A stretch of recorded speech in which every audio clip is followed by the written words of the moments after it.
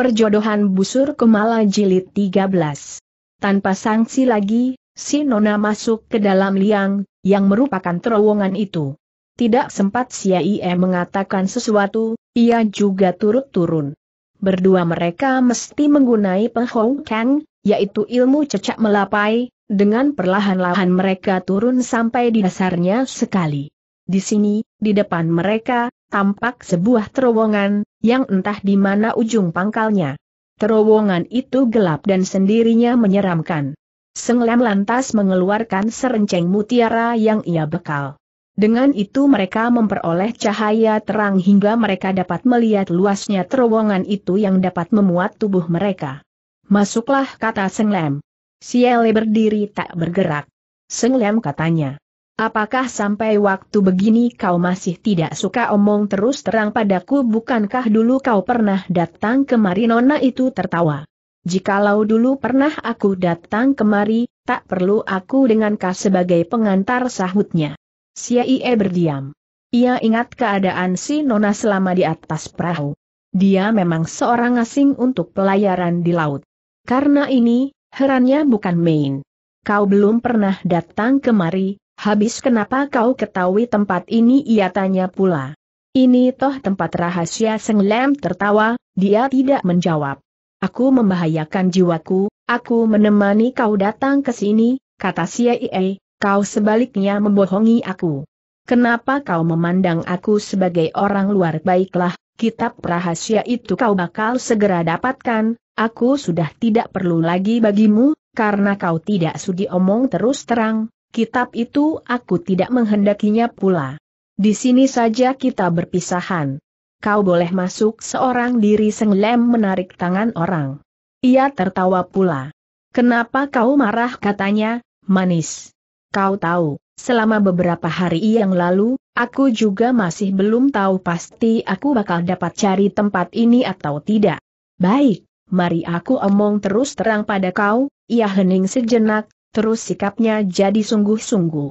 Ia kata dengan suara dalam, kitab ilmu silat itu tidak disimpan di dalam ini terowongan. Aku sebenarnya mau pergi mencari si orang aneh itu si Ie terkejut. Mencari si orang aneh ia tegaskan. Ya sahut si Nona.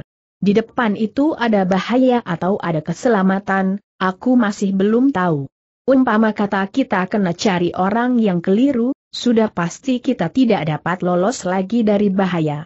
Aku tidak mau membuat susah pada kau, maka jikalau kau hendak pergi, tidak dapat aku mencegah kasih Ie bingung. Bagaimana sebenarnya ini ia tanya. Asal kau omong jelas, aku bukannya si manusia yang takut mati baiklah kalau begitu kata si Nona.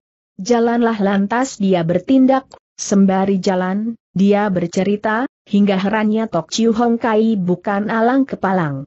Tentang lelakonnya Kiao Pak Beng mungkin kau tahu, berkata Keng Lam. Ketika dulu hari dia roboh di ujung pedangnya Tio Tan Hong dan terluka parah karenanya, orang semua menduga dia sudah terbinasa siapa sangka dia sebenarnya menyingkir ke pulau ini di mana dia menyembunyikan diri. Bentang rahasianya ini cuma keluargaku yang mengetahui maka juga keluargaku, turun-temurun, menghendaki mendapatkan pulaunya Kiao Pak Beng, untuk mendapatkan kitab ilmu silat yang diwariskannya. Selama 200 tahun turunanku, serombongan pengan serombongan, kami telah pergi mencarinya, hanya hasilnya mirip dengan kerbau tanah yang dimasuki ke dalam laut, begitu. Dengan begitu mereka tidak ada kabar ceritanya lagi. Sampai kemudian tidak ada lagi anggota keluargaku yang berani pergi mencari lebih jauh. Akan tetapi pada 60 tahun yang lalu, maka dua pemuda silet telah mencoba pergi juga mereka itu termasuk paman tingkat kakek, Siok Chow. Untuk beberapa tahun mereka itu terumbang ambing dalam pelayaran, akhirnya mereka tiba di pulau ini dan berhasil menemukan gua tempat kediamannya Kiao Pak Peng. Yang belum juga ditemukan ialah kitab warisannya Kiao Pak Keng itu. Mereka lantas berdiam di pulau ini dan terus mencari. Untuk dapat tinggal dengan leluasa, mereka memperbaiki gua. Guna mencegah gangguan binatang liar atau lain orang, mereka menutup mulut gua asal, sebagai gantinya, mereka membuat mulut gua lainnya. Mulut gua itu ialah terowongan pohon kayu yang besar itu. Dan terowongan itu ialah yang sekarang kita lalui ini, CIM mendengari. Sengelem melanjuti penuturannya, tahun lewat tahun, usaha telah dilanjuti mencari kitabnya Kiao Pak Beng itu. Boleh dibilang semua bagian dari gua telah digali atau dibongkar, seluruh pulau ini telah dijelajah. Tetap kitab itu tak terdapatkan. Selama itu sepuluh tahun lewat. Dua kakak beradik itu, dari usia pertengahannya memasuki usia lanjut. Setelah itu mereka berpikir bahwa cara mencari mereka itu bukanlah cara yang sempurna. Lantas mereka berdamai. Kesudahannya diambil putusan, Seng kakak akan berdiam terus di pulau, dan Seng adik harus pulang, guna memberi kabar, supaya keluarga mereka tingkat muda yang nanti pergi melanjuti usaha mereka itu.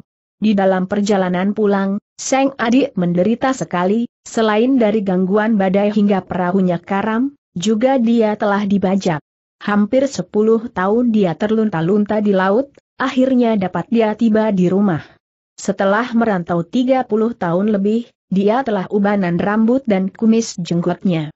Mengandal kepada kekuatan otaknya, dia telah membuat gambar atau petanya pulau di mana pun dia mencatat jelas tentang gua dan lainnya yang terahasia itu. Ketika itu ayahku baru berusia dewasa. Ayahku itu cerdas sekali, sedang ilmu silatnya mengatasi semua kaum keluarga kami sebayanya. Maka itu, peta gambar itu diserahkan padanya. Ayah lantas belajar ilmu berlayar, supaya setelah pandai ia nanti berangkat. Sementara itu, setahu bagaimana duduknya, rahasia bocor tentang pulangnya Syok Chow dengan hasil pengembaraannya mendapatkan pulaunya Kiao Pak Beng itu, bahkan kemudian ketahuan ada dua orang yang senantiasa mengincar saja. Karena itu, ayah tidak berani belajar berlayar secara berterang. Karena itu juga, pelayarannya itu pun turut tertunda. Tanpa merasa, Seng waktu lewat pulau hampir sepuluh tahun, ayah pun menikah, mendadak Seng Lem menangis. Ie lantas menduga bahwa Seng Lem dan si orang luar biasa itu mesti ada hubungannya satu dengan lain. Oleh karena ia belum mendapat kepastian, terhadap orang aneh itu ia memasang metu secara diam-diam. Ia khawatir nanti diserang secara tiba-tiba. Lebih celaka kalau Seng Lem terbinasakan sebelum dia menutur selesai. Yang lewat biarlah lewat, ia menghibur. Apakah kedukaanmu itu kau tuturkanlah padaku? Kau bicaralah dengan perlahan, Seng Lem menepas air matanya. Di luar dugaan sekali, di tahun yang aku dilahirkan, keluargaku menampak bencana besar, kata dia, mulai lagi. Keluargaku itu, tua dan muda, semua telah terbinasa di tangannya Beng Sintong. Yang lolos cuma ibuku seorang, yang membawa aku menyingkir. Maka juga tanggung jawab pembalasan sakit hati dipercayakan padaku seorang. Semenjak aku dapat membaca, aku, telah ditunjuki peta gambar itu, aku diwajibkan melihatnya siang dan malam, supaya aku ingat dan apal di luar kepala, supaya sekalipun dengan meram, aku dapat mengingatnya. Habis itu, peta gambar itu lantas dibakar. Kepadaku ibu berkata, sekarang ini di dalam ini dunia cuma kau satu orang yang ketahui rahasianya pulau itu. Di mana peta gambar sudah dibakar, asal kau menutup rapat mulutmu, tak nanti ada lain orang yang mengetahuinya. Kau harus pergi ke pulau itu untuk mencari Syok Chowmu itu. Umpama kata dia telah meninggal dunia, kau dapat memasuki guanya. Di sana kau boleh berdiam, untuk terus mencari kitabnya Kiao Pak Beng itu, supaya dengan mempelajarinya, nanti bisa mencari balas sakit hati keluarga kita. Tidak lama sejak pesannya itu, ibu menutup mata. Ketika itu aku berumur 17. Pernah aku memikir memasuki satu rombongan perampok, untuk belajar ilmu berlayar. Kemudian aku membatalkan niat itu. Akulah seorang wanita, tak leluasa aku bercampur gaul dengan bangsa perompak. Karenanya terpaksa aku hidup merantau. Secara demikian tiga tahun telah lewat. Syukur akhirnya aku bertemu dengan kau. Lebih syukur lagi hari ini cita-citaku telah terwujudkan. Aku telah sampai di pulau ini, di ini tempat rahasia. Begitulah semua keteranganku. Apakah kau masih mencurigai sesuatu di dalam hatinya? Siai E kata, pantaslah selagi dia belum pernah sampai di sini tetapi dia telah ketahui segala apa dengan jelas, ia pun terharu karena si Nona sangat mempercayainya.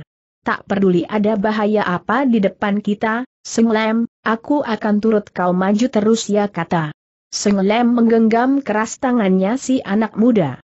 Engko Siei, kau sungguh baik sekali katanya, perlahan, tetapi dengan nada sangat bersyukur. Hati Siele guncang. Tiba-tiba ia tanya, menurut keterangan kau ini, jadinya Shok Chow itu masih hidup? Kalau benar, dia mestinya sudah berumur 90 lebih kata si Nona. Tetapi orang aneh itu, nampaknya dia baru berusia 50 lebih, kata Sia Benar. Itulah sebabnya aku tidak berani sembarang mengakui dia, kalau dia bukan Siok Chow dari Senglem, habis siapakah orang aneh itu kenapa dia ketahui gua rahasia ini memikir begini, Sia tetap heran dan curiga. Mereka berjalan terus. Di depan mereka ada sebuah pintu batu. Mari kita jalan lebih jauh, kata Senglem. Habis ini mungkin kita memperoleh penjelasan, Si Nona mengajukan kedua tangannya, meraba daun pintu, guna mencari pesawat rahasianya. Tiba-tiba terdengarlah suara berkeresek atau berkelotek, lantas pintu batu itu terbuka sendirinya. Tengah mereka tercengang, mendadak terdengar suara angin menyambar keras, membarengi menyambarnya selembar cambuk, yang ujungnya hendak melilit tubuh. Cie berlompat maju, ia menyambar ujung cambuk itu, tetapi di luar dugaannya, tenaga penyerang besar luar biasa, tangannya kena terlilit, sebelum ia sempat berdaya, tubuhnya telah tertarik masuk ke dalam pintu itu. Berbareng dengan itu terdengarlah suatu suara menggabruk keras. Dan itu berarti daun pintu batu itu tertutup sendirinya. Dengan begitu, Senglem menjadi ketinggalan sendirian di sebelah luar. Di dalam keadaan seperti itu, Xie tidak menjadi takut atau mati daya. Tanpa memperdulikan tenaga orang kuat sekali, dengan tidak menghiraukan orang mungkin sangat lihai, ia lantas memasang kuda-kuda, menancapnya dengan tipu silat berat seribu kati, sedang tangannya diputar, guna meloloskan lilitan cambuk. Kau siapa ia menegur nyaring. Kau berada di mana di dalam gelap itu terdengarlah tertawa yang menyeramkan. Aku di sini terdengar jawaban orang yang tertawa itu. Mustahilkah kau juga buta suara itu, Siai rasa, suaranya seorang wanita tua. Apa yang aneh, suara itu berlagu suara orang Siam Sai. Melainkan, nadanya yang beda dengan suara si orang aneh. Nada orang ini menusuk telinga. Siai berdiam, ia memusatkan perhatian dan matanya. Karena sudah sekian lama ia memasuki terowongan di dalam gua itu, matanya telah menjadi biasa pula. Di dalam situ pun ada sedikit cahaya terang. Maka ia lantas dapat melihat cukup tegas keadaan ruang itu. Itulah sebuah kamar batu dari beberapa tombak luas. Wanita tua itu duduk bercokol di satu pojok, tubuhnya menyender pada tembok. Dia mempunyai rambut panjang, yang terurai turun ke pundaknya. Hidungnya pun tampak nyata, mancung hidung itu, sedang kedua matanya bersinar tajam, warnanya rada biru. Dia tak miripnya wanita Tionghoa. Sia Iem menjadi bertambah heran. Di sini keanehan ditindih keanehan. Kau mau melepaskan tanganmu atau tidak tiba-tiba si wanita tua membentak. Sia Iem memang belum melepaskan tangannya, maka itu, Berbareng dengan bentakan itu, ia merasakan tarikan yang keras. Mungkin tenaga mereka tak berjauhan, cambuk itu terlepas. Menyusul itu, angin menyambar pula, cambuk itu kembali menyerang, cepatnya luar biasa. Sia Ie berkelit seraya ia menghunus pedangnya. Lo Ciampu ia berkata, kami datang kemari tak dengan maksud jahat ia memanggil Lo Ciampu walaupun ia belum kenal siapa nyonya tua itu. Si Nyonya tak memperdulikannya, dia mengulangi serangannya hingga beberapa kali dengan terpaksa Xie membela diri dengan menggunai pedangnya. Sembari bertempur itu, ia merasa heran. si Nyonya tak bangun berdiri, dia tetap duduk bercokol, cuma tangannya yang terus bekerja. Heran, kenapa dia berduduk saja pikirnya. Walaupun cambuk si Nyonya lihai, lantaran dia tak berfikisar dari tempatnya duduk, tak sulit untuk Siaie melayaninya. Siaie pun segera mendapat akal. Dengan tiba-tiba ia lompat berputaran, sangat gesit gerakannya, habis mana, mendadak ia berdiri diam, napasnya pun ditahan. Nyonya itu masih menyerang beberapa kali meski ia merasa lawannya telah lenyap. Tidak pernah ia memperoleh hasil. Maka ia lantas berdiam seraya memasang telinganya. Aku tahu sekarang kata Ie di dalam hati sesudah ia berdiam sekian lama seraya terus ia memasang metu terhadap nyonya. Kiranya dia buta. Pantas tadi dia mengatakan apakah aku pun buta, Ie pun lantas memikirkan Senglem. Nona itu tidak turut masuk, dia pun tak terdengar suara panggilannya dari luar. Mungkinkah pintu batu ini ada rahasianya ia menduga-duga. Atau apakah Seng Lam pun menemui bahaya ia menjadi bingung dan berkhawatir. Justru itu mendadak si nyonya menyerang pula ke arahnya. Selagi matanya buta, telinganya si wanita tua celi luar biasa. Si Ie tidak terus menahan napas, maka sekali ia bernapas, suara napasnya itu terdengar si nyonya, yang lantas menyerang padanya. Aku tidak bermaksud jahat, Mengapa kau keterlaluan Siai E kata? Habis apa perlunya kau datang kemari nyonya itu tanya, suaranya dingin. Aku hendak mencari seorang sahabat, Siai E jawab. Hektometer nyonya itu mengejek. Tahukah kau aku siapa aku justru mohon diberitahu nyonya itu tertawa pula dengan dingin. Sampai pun aku kau tidak kenal, kau toh berani datang kemari katanya. Mana mungkin kau hendak mencari sahabat? Aku tahu kau datang kemari untuk kitab ilmu silatnya Kiao Pak Beng. Benar, bukan tidak salah Siai E jawab.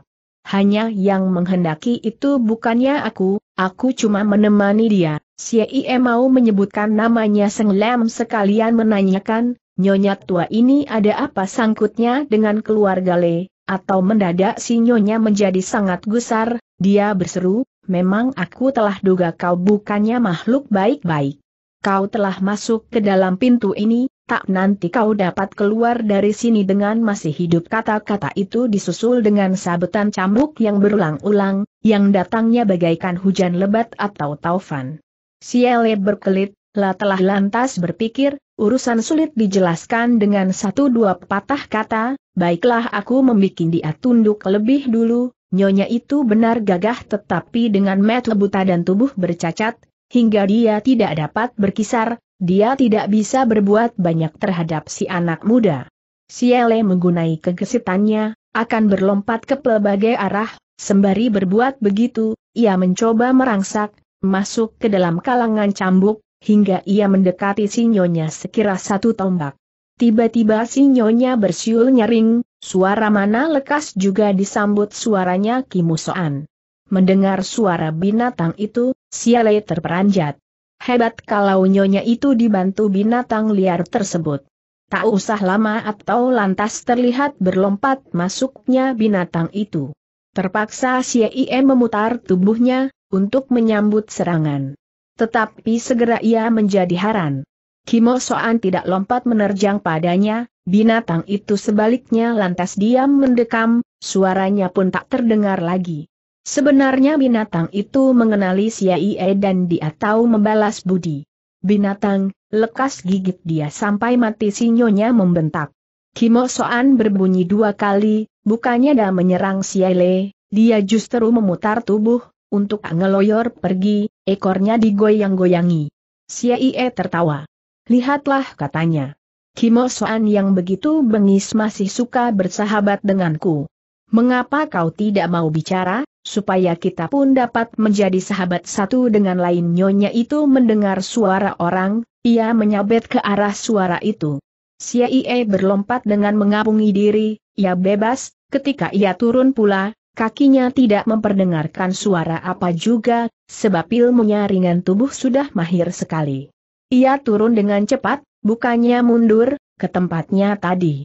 ia turun justru di depan si nyonya, untuk terus menyabet dengan tangannya ke arah nadu nyonya itu, untuk membuat cambuk orang terlepas.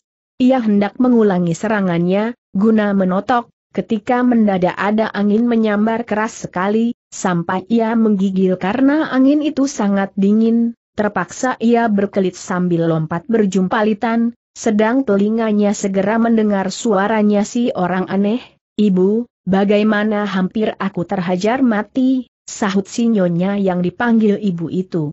Orang ini menghina aku, kau bunuhlah dia kata-kata bunuh itu sangat menyeramkan, keras, dingin dan bengis.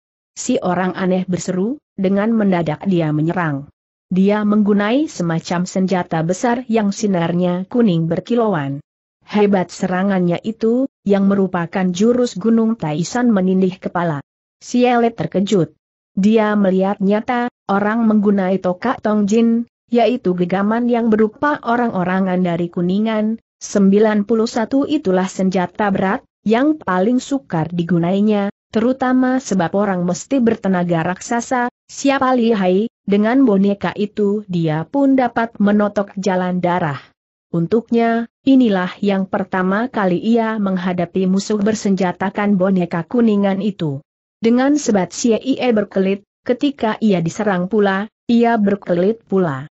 Tapi, kapan ia terus didesak, diserang berulang-ulang, satu kali ia mencoba menangkis juga. Kesudahannya hatinya bercekat. Bentrokan keras, nyaring suaranya, tetapi yang hebat ialah tangannya dirasai sakit. Maka taulah ia yang orang bertenaga besar luar biasa. Tadinya ia cuma menduga saja. Selanjutnya, ia tidak mau mengadu senjata lagi. Tahan kemudian Siai berseru. Kau kasih ketika untuk aku bicara dulu. Habis itu baru kita bertempur pula kau menyelundup masuk kemari, tak dapat kau diberi ampun berteriak si orang aneh. Benar-benar, sembari bicara itu, ia menyerang terus, dan semakin hebat pula. Ia pun beberapa kali mencari jalan darah Siai terdesak mundur, repot ia berkelit, hingga tak ada ketika untuknya berbicara pula, terpaksa ia mengeluarkan antero kepandaiannya untuk dapat bertahan. Kiranya wanita asing ini ialah ibunya, ia berpikir sembari berkelit. Dengan begini teranglah dia bukannya Chow dari Senglem.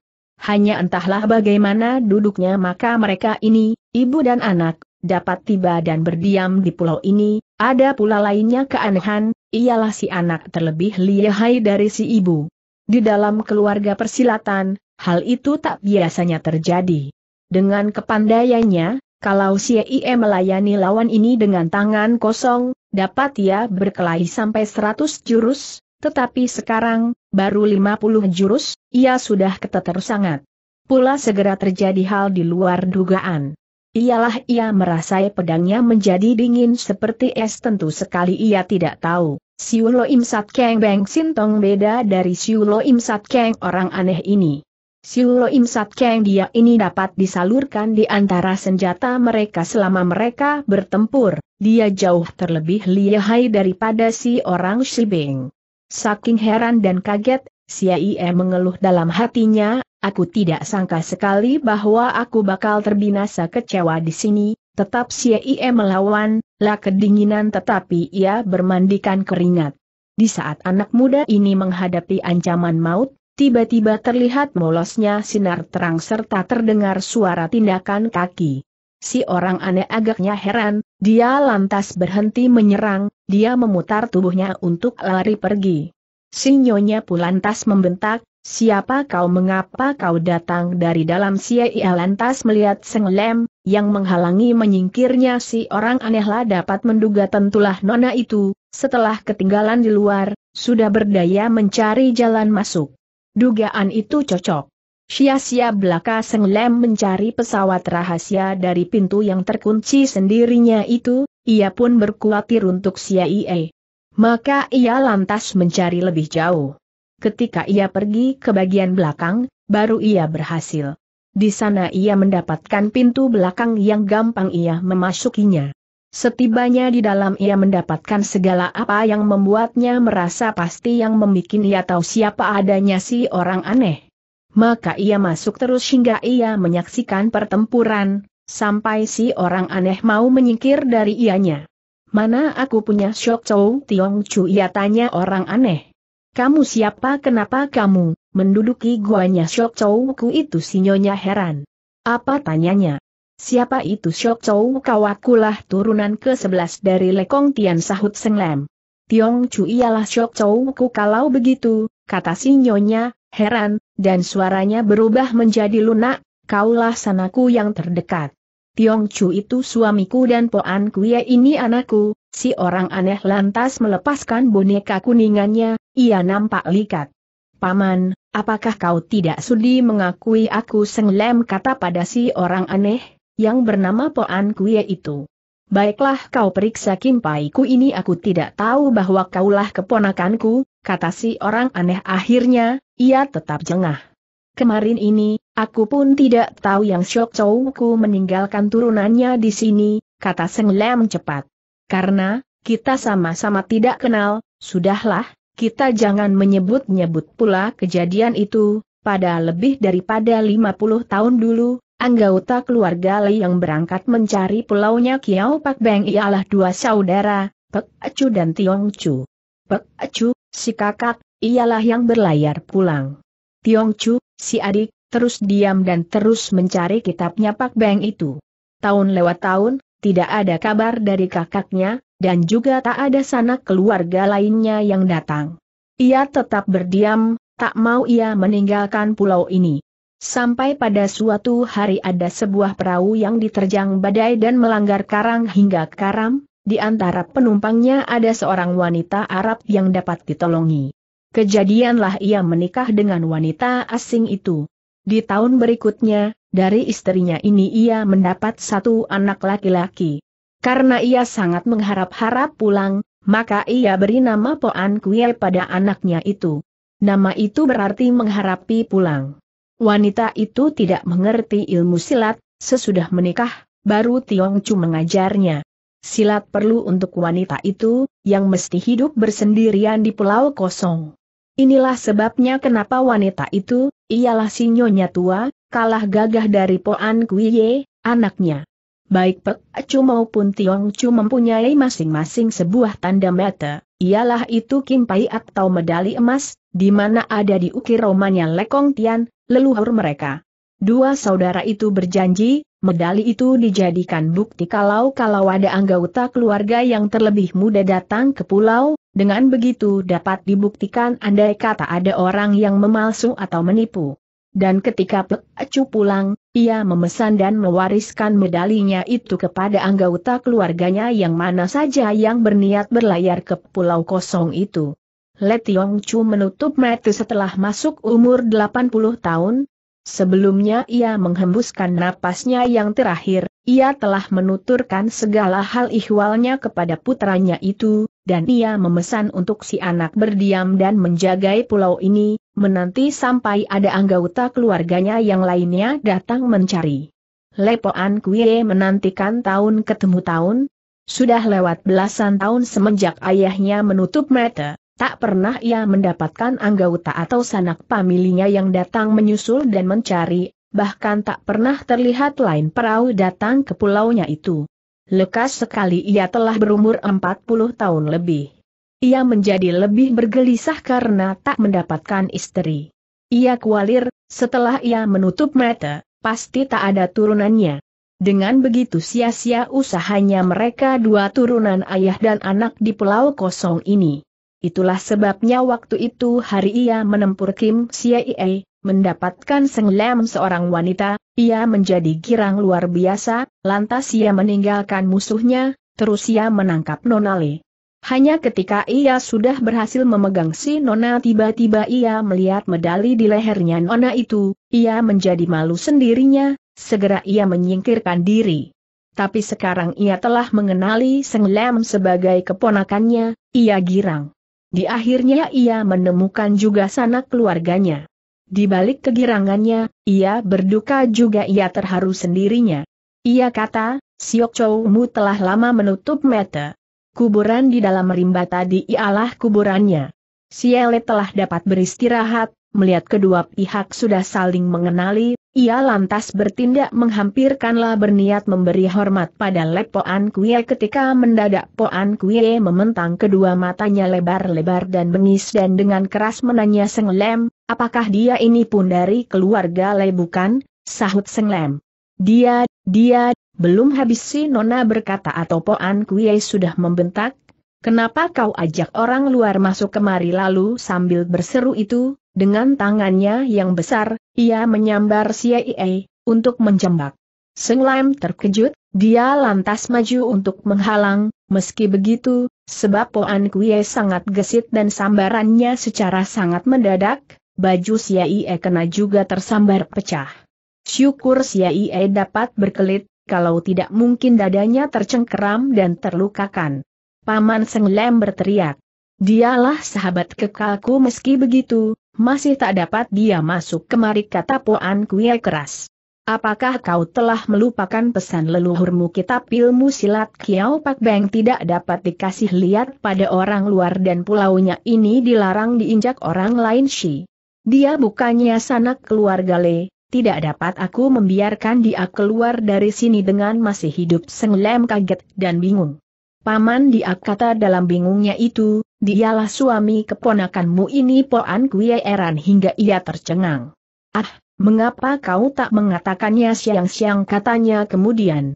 Hampir aku membuat dia celaka, mukanya Seng Lem menjadi merah, tetapi sudah terlanjur, ia membawa sikap likat, sembari bersenyum ia kata, bukankah tadi aku telah bilang bahwa dialah sahabat kekalku siapa suruh paman berlaku tidak sabaran?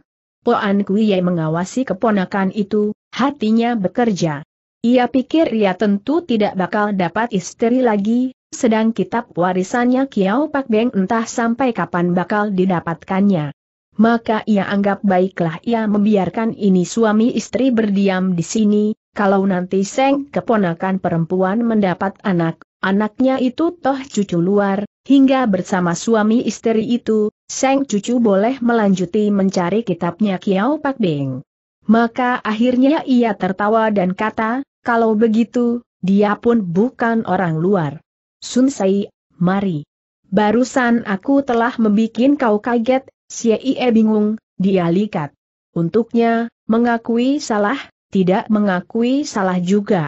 Kalau dah menyangkal, dia bisa celaka. Karena ini, dia berdiam saja. Poan Kue tertawa pula. Sudah berapa lama kamu menikah di tanya. Sudah satu tahun tiga belas hari, sahut Seng Lem terpaksa. Atas jawaban itu Siai berpikir. Benarlah kata si Nona, semenjak ia berkenalan dengannya, ia telah mengenal Nona itu satu tahun lewat tiga belas hari. Hebat dia mengingat demikian tepat, pikirnya pula. Aku tadinya menyangka dia ngoceh saja. Rupanya perkenalan itu dia menganggapnya sebagai hari nikah kita, Cien memuji si Nona sedang ia sendiri pun mengingat baik tanggal perkenalan mereka itu, kalau tidak, tidak nanti ia dapat mengingat atau menghitung sedemikian cepat.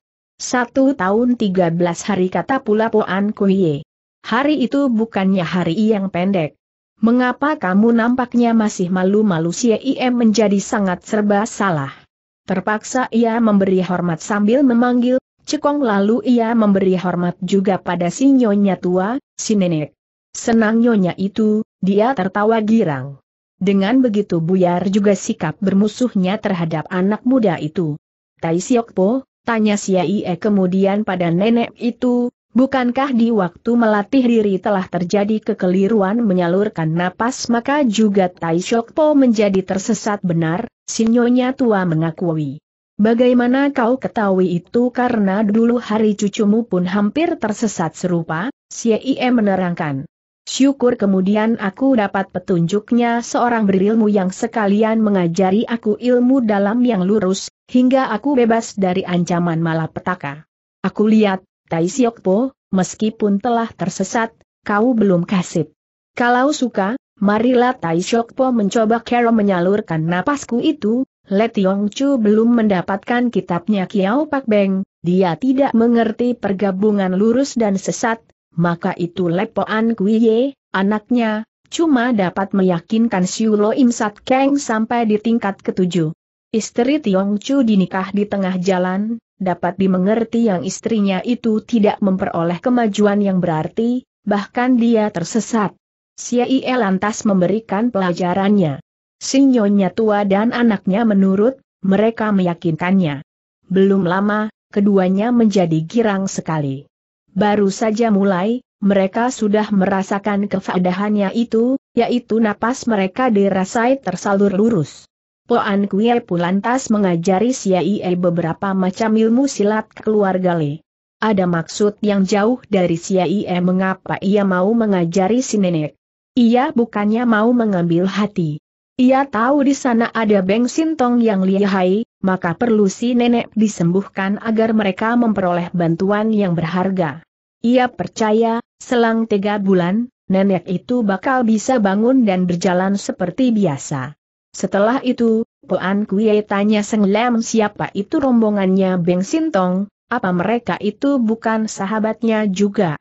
Bukan, sahut Seng Lem, bahkan yang tua ialah musuhnya keluarga kita ia lantas menangis, tetapi ia masih dapat menguati hati untuk bicara terus, semua beberapa puluh anggota keluarga kita telah dibinasakan dia, yang dapat meloloskan diri cuma aku satu orang, Poan Kue gusar sekali, tetapi ia heran.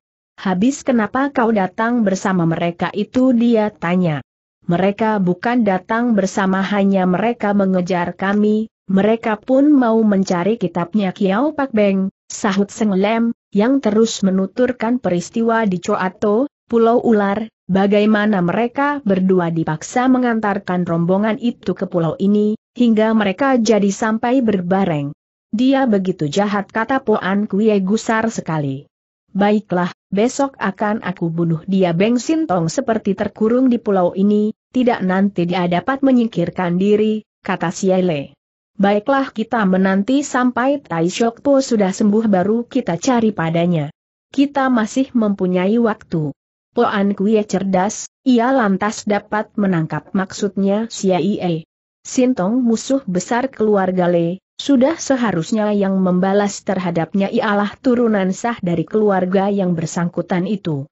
Di dalam hal ini, turunan itu ialah Le Seng Lem. Ie sendiri suka membantu Seng Lem sebab kesatu ia telah menerima budi dan kedua ia merasa kasihan si Nona sebatang kara. Sekarang Seng Lem sudah berkumpul dengan sanaknya, pembalasannya itu bukan soal sukar lagi, maka ingin ia tidak campur tangan. Jadi mereka tinggal menanti sembuhnya si nenek. Seng Lem dapat menerkap pikiran Ie, ia pun menyatakan kesetujuannya. Baiklah, katanya biarlah kita tinggal di sini dulu, biarlah dia dapat hidup lagi sekian hari. Sekarang perlu kita bicarakan soal mencari kitabnya Kiao Pak Beng, tapi aku hendak mengobati dulu Kimosoan, katanya, setelah sembuh, biarlah binatang itu yang lebih dulu menyiksa mereka itu. Akhirnya si nyonya tua tertawa dan kata, kau telah membuat mereka ini berdua kaget, sekarang kau kasihlah mereka beristirahat Poan Kue mengangguk. Ia lantas menyalakan lilin. Senglem, katanya, keluarga Le tinggal kau satu orang, maka itu rumah ini ialah rumahmu. Sekarang mari aku menunjuki kau keadaan rumah ini Senglem mengangguk. Lilinnya Poan Kue itu lilin besar, terbuatnya dari minyak kebau, maka itu terangnya luar biasa. Senglem dan Siele mengikuti paman itu, yang membawa lilin tersebut. Jalan berliku-liku saling melintang, saban-saban ada perangkapnya. Itulah persiagaannya Kiao Pak Beng dulu hari, yang kemudian ditambah oleh Pak Chu dan Letiong Chu dua saudara, sembari menyaksikan semua itu, Siai kata dalam hatinya, jikalau tidak bersama Leseng Lem, jangan harap aku nanti dapat datang kemari. Atau kalau toh aku bisa masuk, pasti aku bakal mati terperangkap atau terkurung, di bagian dalam, ruang luas, ada beberapa kamar batunya, dan perabotannya pun lumayan. Semua itu, pembuatnya dua keluarga leayah dan anak, antaranya ada barang tembikar bakaran mereka sendiri. Poan Kue kemudian menunjuki kamarnya Kiao Pak Beng. Kamu boleh tidur di dalam kamar ini, katanya. Bahkan ia membantu mengaturnya. tikar ialah kulit binatang liar. Beberapa lilin kecil pun disediakan. Malah di dalam pot ada ditaruhkan bunga hutan. Hingga kamar diumpamakan kamar pengantin. Paling akhir Poan Kue membawakan arak buatannya sendiri serta abon. Inilah yang pertama kali kamu pulang, maka kamulah mempelai katanya tertawa. Sudah selayaknya aku memberi selamat kepada kamu Siai mesti melawan rasa likatnya. Ia bersandiwara untuk melayani cekong itu. Seng Lem juga mesti turut membawa peranan. Poan Kue sudah minum banyak juga ketika ia kata sambil tertawa, cukuplah sudah, tak mau aku mengganggu kamu lebih lama. Aku mendoakan, semoga kamu lekas memperoleh anak yang manis mirip dengan orang hutan, paman ini polos sekali, apa yang dia pikir, dia lantas mengatakannya, hingga dia membuat mukanya si Ie dan Seng Lem menjadi merah. Ketika Poan Kue mengundurkan diri, ia sekalian menarik pintu untuk dirapatkan. Seng Lem, menyingkirkan lelatu lilin, kedua belah pipinya merah. Engko Ie, apakah kau menyesali aku? Ia tanya perlahan. Ie menyeringai. Aku tidak tahu bahwa keluargamu mempunyai ini macam aturan, ia menjawab. Jikalau aku tahu, tidak nanti aku datang ke pulau ini, dari merah, parasnya Seng Lem menjadi pucat. Ia pun lantas mengalirkan air mata. Ia jengah, menyesal dan mendongkol. Memang aku tahu aku tidak sembabat untukmu, katanya, perlahan, nadanya nada penasaran.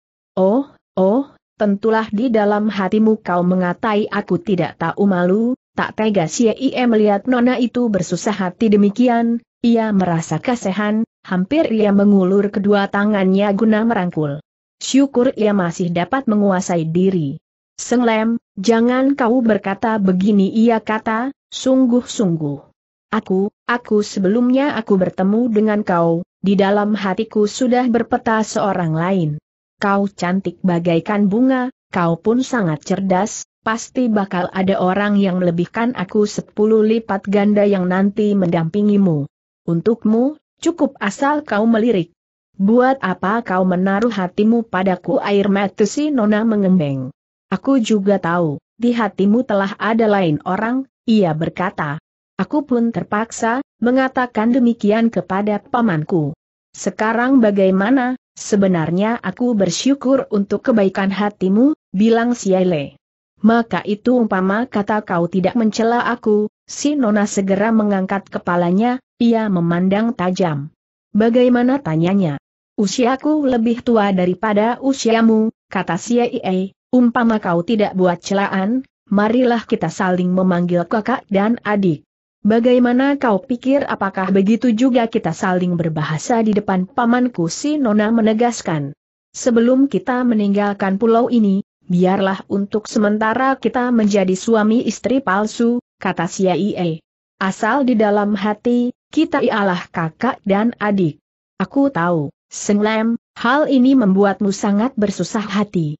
Tapi ini daya satu-satunya, apa mau dikata harap kau memaafkan aku, Seng Lem menahan keluarnya air matanya. Koko ia memanggil perlahan sambil ia memberi hormat. Baru sekarang si Ie berani memegang tangan orang, untuk dipimpin bangun. Adik ia membalasi. Koko, kau baik sekali terhadapku, kata pula si Nona. Baiklah, selanjutnya aku akan menjadi adikmu yang sejati. Tentang lain pria, tak nanti aku meliriknya, si Ie merasa tak enak di hatinya. Sungguh-sungguhkah si Nona di waktu dia mengucapkan demikian benar-benarkah Seng Lem puas menjadi adik angkatnya ia pikir, itulah tak mungkin.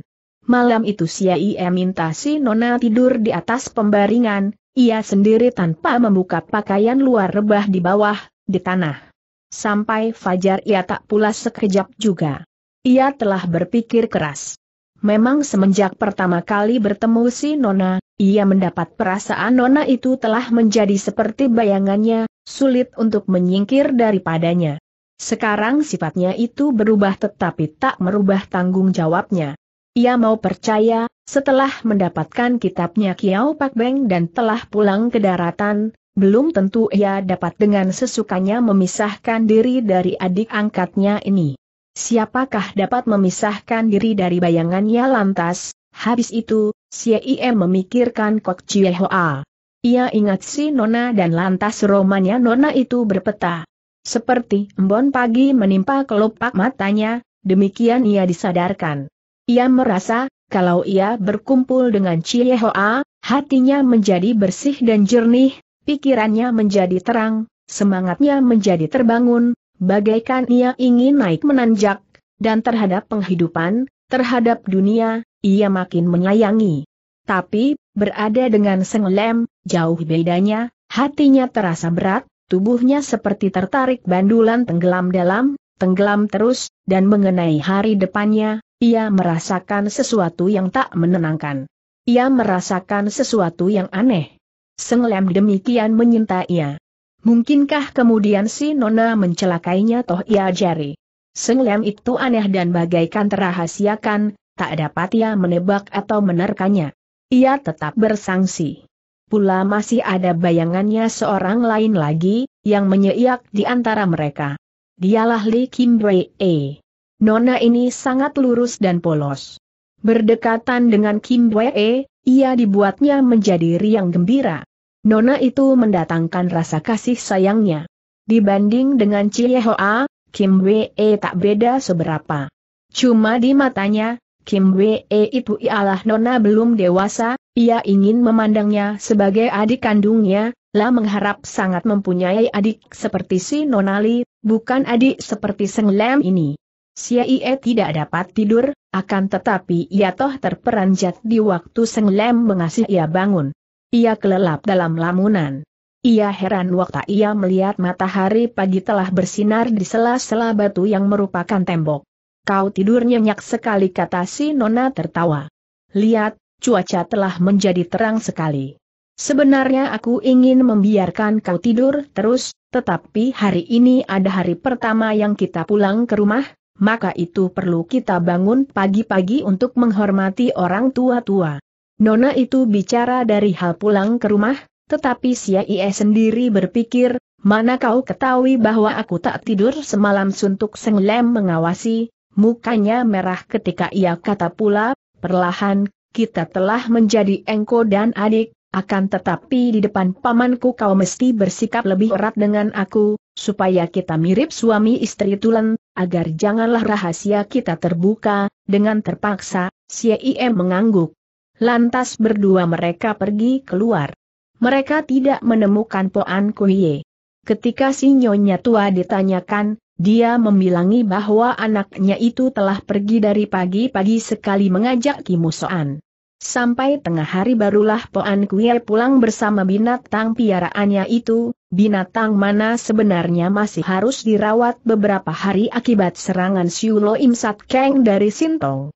Begitu tiba dia kata, bangsat tua si Beng itu bersama dua kawannya entah bersembunyi di mana.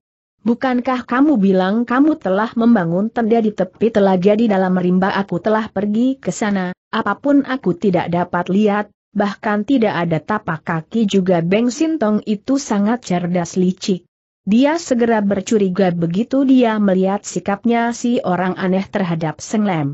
Dia lantas menduga-duga mesti ada sesuatu hubungannya berkenaan menyingkirkan si Ie dan Seng Lem dari rombongannya. Dia cuma tak dapat menerka bahwa Seng Lem ialah keponakannya si orang aneh. Saking curiga dia pikir, mungkinkah Kim Ie dan Seng Lem mau berserikat dengan si orang aneh untuk menghadapi aku mengingat ini, dia menggigil sendirinya. Kalau benar, itulah ancaman bahaya untuknya. Mesti aku menjauhkan diri dari mereka akhirnya dia mengambil keputusan. Maka tengah malam itu dia ajak Biat Hoa Hosyo dan Kunlun Sanjin menyingkir dengan diam-diam. Sebagai orang-orang Kangou berpengalaman, mereka tahu harus berbuat apa. Begitulah mereka meloloskan sepatu mereka, sebagai gantinya, kaki mereka itu dibungkus. Juga mereka jalan di tempat di mana ada rumput tebal. Dengan ilmu ringan tubuh mereka yang mahir, sama sekali mereka tidak meninggalkan tapak kaki. Sungguh lihai hantu tua itu kata Seng Lem. Tentulah selanjutnya dia semakin berhati-hati. Pulau ini luas ratusan li sekitarnya, kalau dia main menyembunyikan diri, mana dapat dia dicari meski mereka sangat lihai, tidak nanti mereka lolos dari pulau ini kata Siele tertawa. Sekarang lebih perlu kita mencari kitab, sesudah itu perlahan-lahan kita mencari mereka untuk membereskannya, Sengelem mau percaya Siaie. Di antara tiga orang itu, cuma Sintong yang dapat melayarkan perahu. Perahu pun telah dirusak Biat Hoa, untuk memperbaiki itu dibutuhkan waktu sedikitnya setengah bulan. Kalau mereka membuat betul perahu itu, mesti mereka kepergok. Benar ya kata.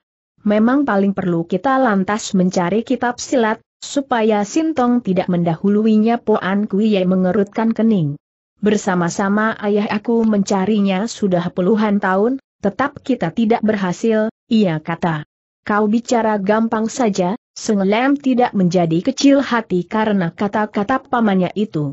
Siaie, ia bilang, coba kau keluarkan gambar kita itu. Katanya dengan melihat gambar itu kita akan dapat memecahkan rahasianya tempat menyimpannya. Cuma sampai sebegitu jauh kita belum dapat menangkap partinya. Paman telah tinggal puluhan tahun di sini, pasti Paman mengenal seluruh tempat dengan baik, umpama kata selembar rumputnya atau sebatang pohonnya, maka itu mungkin Paman dapat menangkap maksudnya, Cie menurut, ia mengeluarkan dan membeber gambarnya.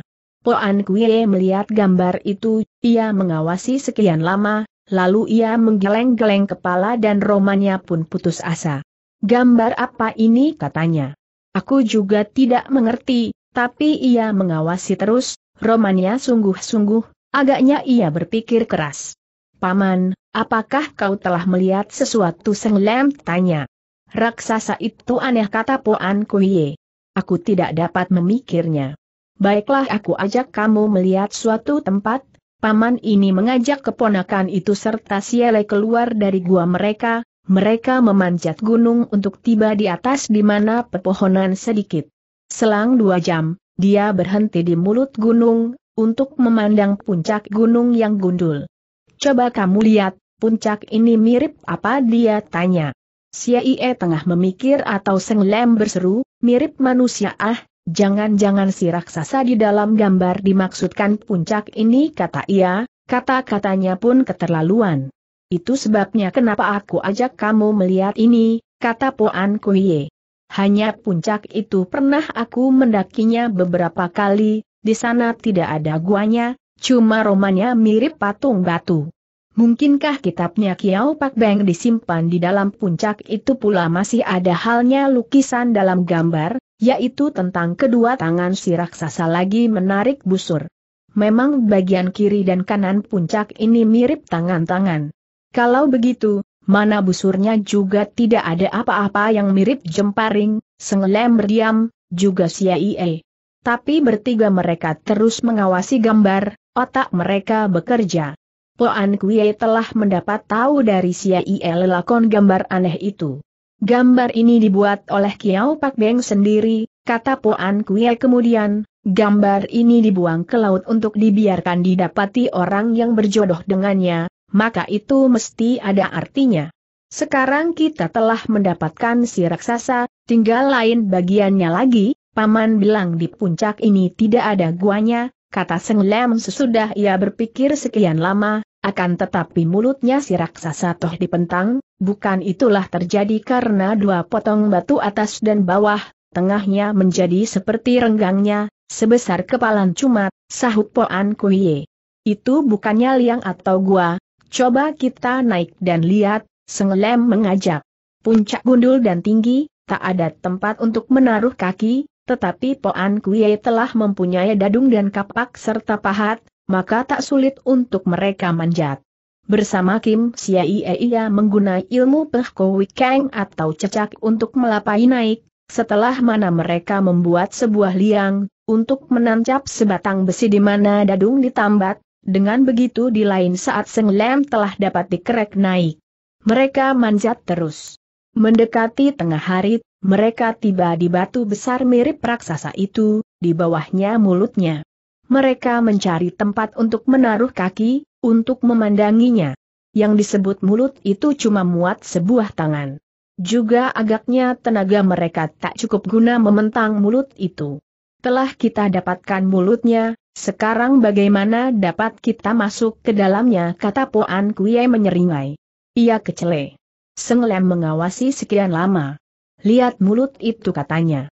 Bukankah ada beberapa bocah giginya aku maksudkan batu-batu kecil panjang yang berdiri itu, yang dinamakan rebung batu, apakah artinya gigi-gigi semacam itu tanya Seng Paman.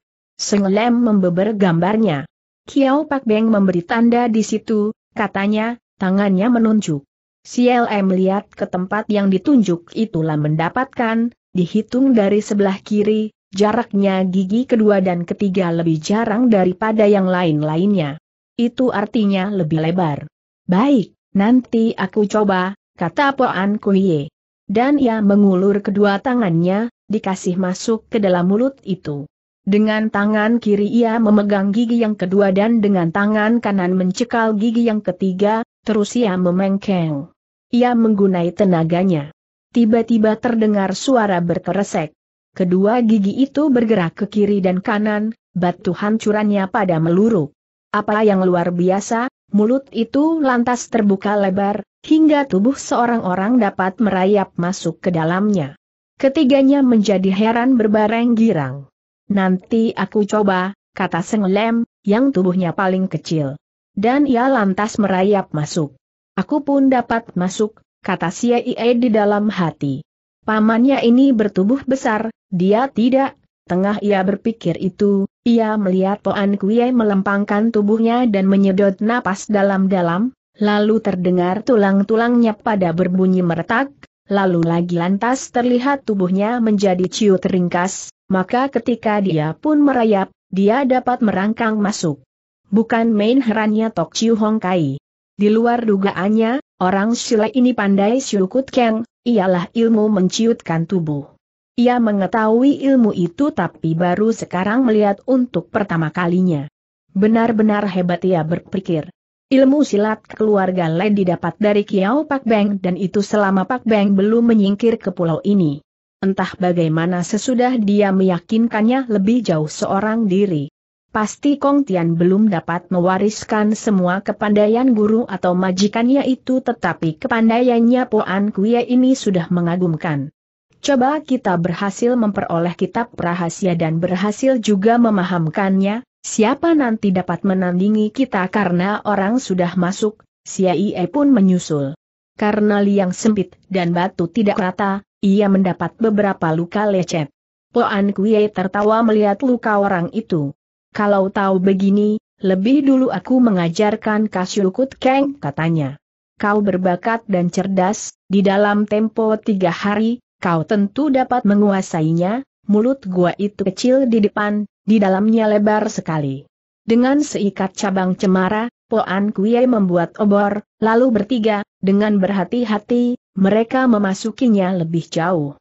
Mulanya mereka menyangka gua itu mestinya aneh, kemudian ternyata, mereka dapat masuk tanpa rintangan apa-apa. Sekian lama mereka berjalan, mendadak mereka melihat cahaya terang. Itukah busur Poan Kuye berseru. Ah Seng Lam pun berseru. Entah dari apa dibuatnya busur ini. Sungguh luar biasa Koko Siaie, pernahkah kau melihat busur raksasa semacam ini Siaie maju mendekati, untuk meneliti. Di tembok batu ada menonjol sebuah rebung batu, pada itu tergantung busur yang dimaksudkan Poan Kuye dan Seng Lem. Busur itu besar luar biasa, sebelumnya belum pernah ia melihatnya. Poan Kuye menyului dengan obornya. Busur begini besar, mungkin kau tak kuat mengangkatnya, Seng Lem, dia kata. Cobalah kau angkat, Sia maju, ia mengulur kedua tangannya, untuk memegang dan mengangkat. Dengan lantas ia menjadi terperanjat saking heran. Ia memang sudah menduga, busur mesti berat, tetapi ia tidak pernah menyangka, ia tak kuat mengangkatnya. Ia baru berhasil sesudah ia mengerahkan tenaga besar. Selain berat, busur pun dingin sekali. Inilah busur kemala putih ia berseru. Poan Kuye meraba-raba. Memang kemala tetapi bukannya kemala putih yang umum, ia bilang.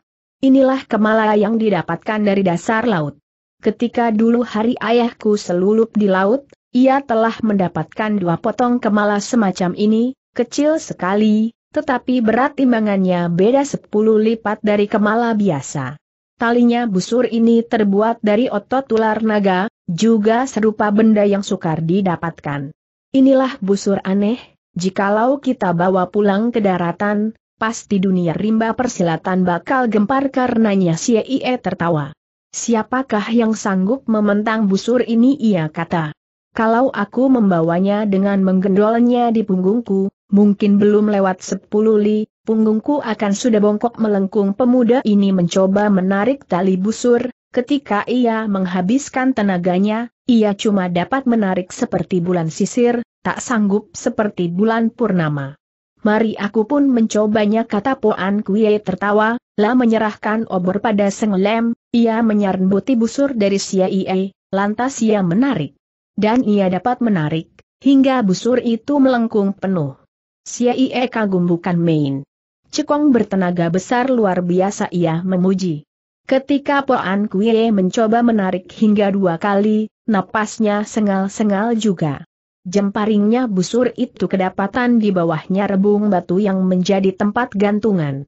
Semuanya cuma tiga batang. Ketika Poan Kue jumput itu, ia mendapatkan anak panah yang luar biasa juga, sebab yang satu ujungnya, yaitu kepalanya, terpecah dua, dan yang dua lagi, pecahannya lebih lebar. Entah apa maksudnya ketika dulu hari Kiao Chow Wisu membuat panah ini, kata Poan Kue kemudian. Mungkin benar banyak binatang liar di sini tetapi dengan kepandaiannya saja, bukankah sudah cukup untuk melayaninya jadi, buat apakah panah semacam ini lihat Seng Lem berseru tiba-tiba. Ada lagi benda mustika. Sia Ie lantas mengawasi ke arah si Nona menunjuk. Dari tanah terlihat sinar terang hijau. Benda itu mudah terlihat, tetapi barusan orang dibikin heran dan kagum seng panah, perhatian mereka tidak lantas tertarik. Ketika ia bertindak menghampirkan, Xie dapatkan itulah sebuah pedang, yang nancap di tanah. Barusan ia dapat pengalaman dari busur, maka untuk mencabut pedang ini ia memasang kuda-kuda, ia mengerahkan tenaganya. Tapinya, setelah mencabut, ia kecele. Melesetlah perkiraannya. Bukannya berat atau sukar, pedang itu justru terlalu enteng, nancapnya tak keras dan kuat, maka itu, ia telah terhuyung dua tindak. Eh, kenapakah tanya Seng Lem heran? Ia lompat menghampirkan. Tidak apa-apa, sahut Sia Ie. Cuma pedang ini nancap kendor sekali, sembari berkata begitu, ia cabut pedang itu. Mendadak ruang itu, yang tadinya cuma diterangi obor, lantas jadi terang luar biasa sekitar tiga tombak, sedang cahayanya, yang hijau, berkilau-kilau. Poan Kue periksa pedang itu, tak dapat ia menerangkan dari logam apa terbuatnya.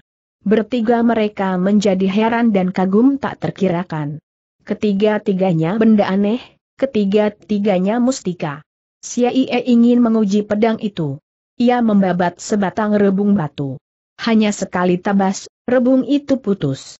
Ketika ia menusuk ke tembok gunung, batunya hancur berjatuhan, nancapnya dalam beberapa dim.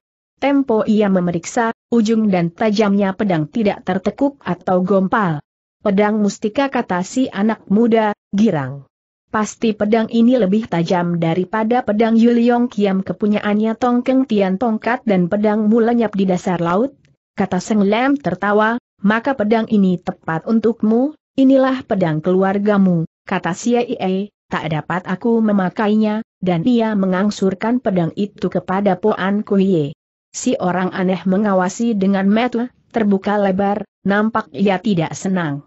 Ingat, Sia Ie, kaulah sunsai kami, katanya, kau telah terhitung anggota keluarga kami, maka apakah kau masih hendak memisahkan diri aku mempunyai tokak tongjan pengajaran leluhurku, aku tidak membutuhkan pedang, maka kau ambillah ini tidak ingin CLE menerima banyak budi dari keluarga Le, akan tetapi kata-katanya Poan Kue tidak dapat ditolak, atau ia bakal membangunkan rasa curiga, maka terpaksa ia ambil pedang itu.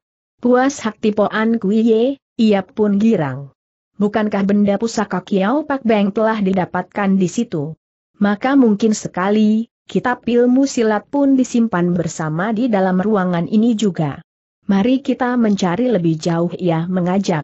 Seng Lem dan Xie menyambut ajakan itu dengan gembira. Memang bukan main faedahnya akan mendapatkan kitab warisan Pak Beng itu. Kitab pasti jauh lebih berharga daripada panah dan pedang. Maka ruang itu lantas diperiksa dengan teliti. Hanya hasilnya, tidak ada. Xie penasaran, ia pakai pedang mustikanya untuk mencokel-cokel. Sudah beberapa puluh kali ia membuat liang, masih ia tidak berhasil. Tidak ada tembok batu yang kosong. Cukup sudah kata Seng Lem. Kalau Kiao Chow Wisu menyimpan kitabnya di sini, mesti sudah kita dapatkan, tak perlu ia membuatnya kita meraba-raba tak hentinya, benar, kata Poan Kuye. Kiao Chow Wisu telah membuat gambar dia menunjuki kita datang kemari, kita berhasil mendapatkan dua macam pusaka secara gampang sekali. Kalau kitab disimpan di sini, mestinya ia telah memberi petunjuknya di dalam gambarnya, ia lantas ambil gambar itu, untuk diawasi dengan seksama. Ia menjadi bingung. Ia tidak dapatkan tanda apa juga, juga tak nampak bagian-bagian yang mencurigakan. Ketika dulu hari Kiao Pak Beng bertemu dengan saudagar yang perahunya terdampar ke pulaunya ini, kata Siale, dia telah memberikan janji, siapa dapat membawa pulang tulang-tulangnya ke daratan, orang itu bakal diambil sebagai muridnya, murid dari lain dunia atau lain zaman. Chong Leng Xiang Jin yang berhasil mendapatkan buku catatan harian dari saudagar Persia itu, dia telah datang mencari aku, mengajaki aku bekerja sama. Maka itu, kalau benar ada kitabnya itu, mestinya kitab itu disimpan bersama jenazahnya. Ia berada sendirian di sini, kalau dia mati di dalam gua, terang sudah tidak ada orang yang kedua yang dapat menolong mengubur jenazahnya. Bukankah gua ini sukar didatangi dan dimasukinya bukankah di sini pun banyak ular berbisa dan binatang liarnya? Siapakah dapat datang kemari? Memang sudah lewat 200 tahun semenjak dia meninggal dunia, walaupun begitu, mestinya ada sisa atau sisa-sisa tulang atau benda peninggalannya. Tapi sekarang, ruang ini tak ada isinya. Yang lainnya, sepotong tulang pun tidak ada. Maka aku percaya, jenazahnya tentulah bukan dikubur di sini, Poan Kuye mulai menjadi putus asa telah mencari puluhan tahun lamanya. Baru dapat panah dan pedang. Sekarang jalan mereka buntu. Senglam menghibur, katanya, meski kita tidak mendapatkan kitab, diperolehnya panah dan pedang pun berarti usaha kita tidak sia-sia belaka, oleh karena sang malam sudah lantas tiba, mereka bermalam di dalam gua itu. Tengah malam itu terdengar suaranya Kimusoan. Hati Poan Kue tak tenang. Ia khawatir binatang piaraannya itu bertemu dengan Sinto. Karena itu ia tidak dapat tidur pulas, baru terang tanah, ia sudah berbangkit bangun, untuk melakukan perjalanan pulang. Di lamping gunung tak jauh dari rumah kedapatan bangkainya seekor harimau. Rupanya Kimusoan keluar mencari makanan sendiri, kata Seng Lem tertawa.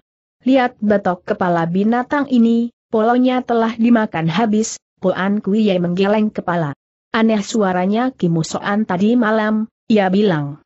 Rupanya dia menemukan sesuatu yang menakuti.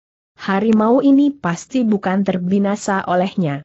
Pula tak mungkin dia takut kepada harimau, jalan lebih jauh, mereka lantas menemukan bangkainya seekor singa, yang kepalanya utuh tetapi lehernya patah dan robek. Terang itu buah tangannya seorang yang lihai ilmu silatnya.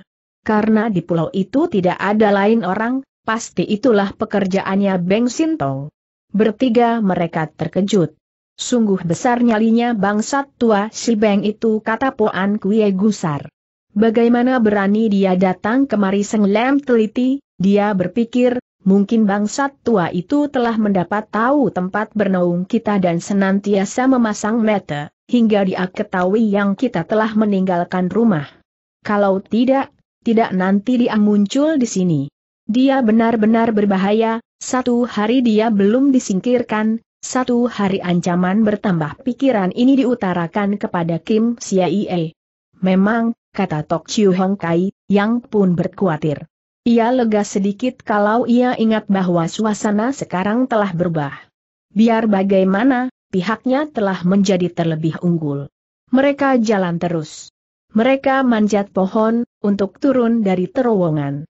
Poan Kue memeriksa dengan teliti. Ia tidak melihat sesuatu yang mencurigakan, tak ada bekas orang datang ke situ. Akhirnya ia tertawa dan kata, mungkin kebetulan saja dia lewat di sini. Jikalau dia berani berterang datang kemari, itulah hal yang aku mengharap pun tidak berani. Umpama kata aku tidak ada di rumah, pelbagai pesawat rahasia juga dapat mengurung padanya lekas juga mereka tiba di dalam dan menemui nyonya rumah, yang tidak kurang suatu apa. Ibunya Poan Kue menerangkan ketika ditanya bahwa ia cuma mendengar suara kimusoan mengejar binatang liar, tak ia dengar ada orang menelusup masuk atau hanya datang di sekitar pohon besar. Poan Kue memanggil kedua binatang piaraannya, untuk diperiksa, ia tidak mendapatkan luka apa-apa di tubuhnya. Maka ia mau menduga, ketika bertemu kedua binatang itu, Beng Sintong semua telah lantas menjauhkan diri. Besoknya mereka memeriksa pula gambar mereka, tetap mereka tak memperoleh sesuatu.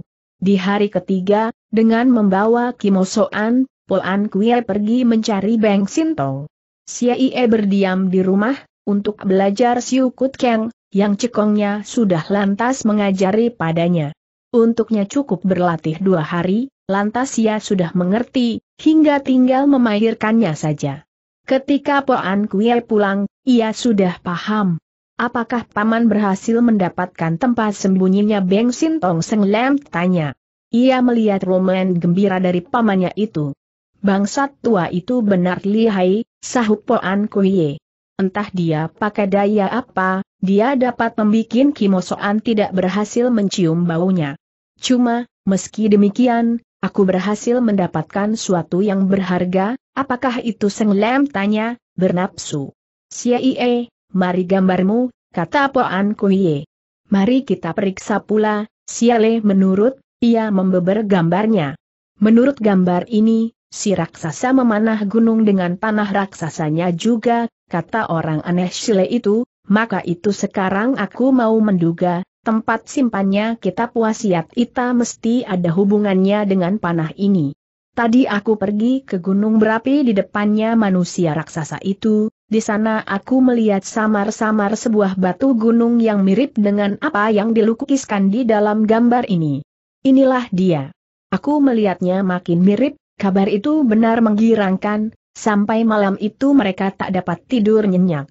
Besoknya pagi semua orang tetap bergembira, kecuali Seng Lem yang agaknya rada berduka. Tian tak mensia-siakan orang yang rajin dan tekun, kata Xie tertawa. Kali ini tentulah kita bakal berhasil aku pun mengharap demikian, kata si Nona, yang menarik napas dalam. Semoga kali ini kita berhasil. Hanya aku khawatir, aku khawatir sekali, kau khawatirkan apa tanya Xie Aku khawatir, setelah kitab didapatkan, kau dan aku bakal berpisahan, berkata Seng Lem. Apabila aku memikir itu, sungguh, aku lebih suka tak usahlah kita mendapatkannya, Siai berdiam. Inilah kekhawatiran si Nona yang tidak disangka-sangka. Hatinya gentar. Tak ia kira ia dihargai si Nona melebihkan kitabnya Kiao Pak Beng itu. Mau atau tidak, ia merasa terharu juga.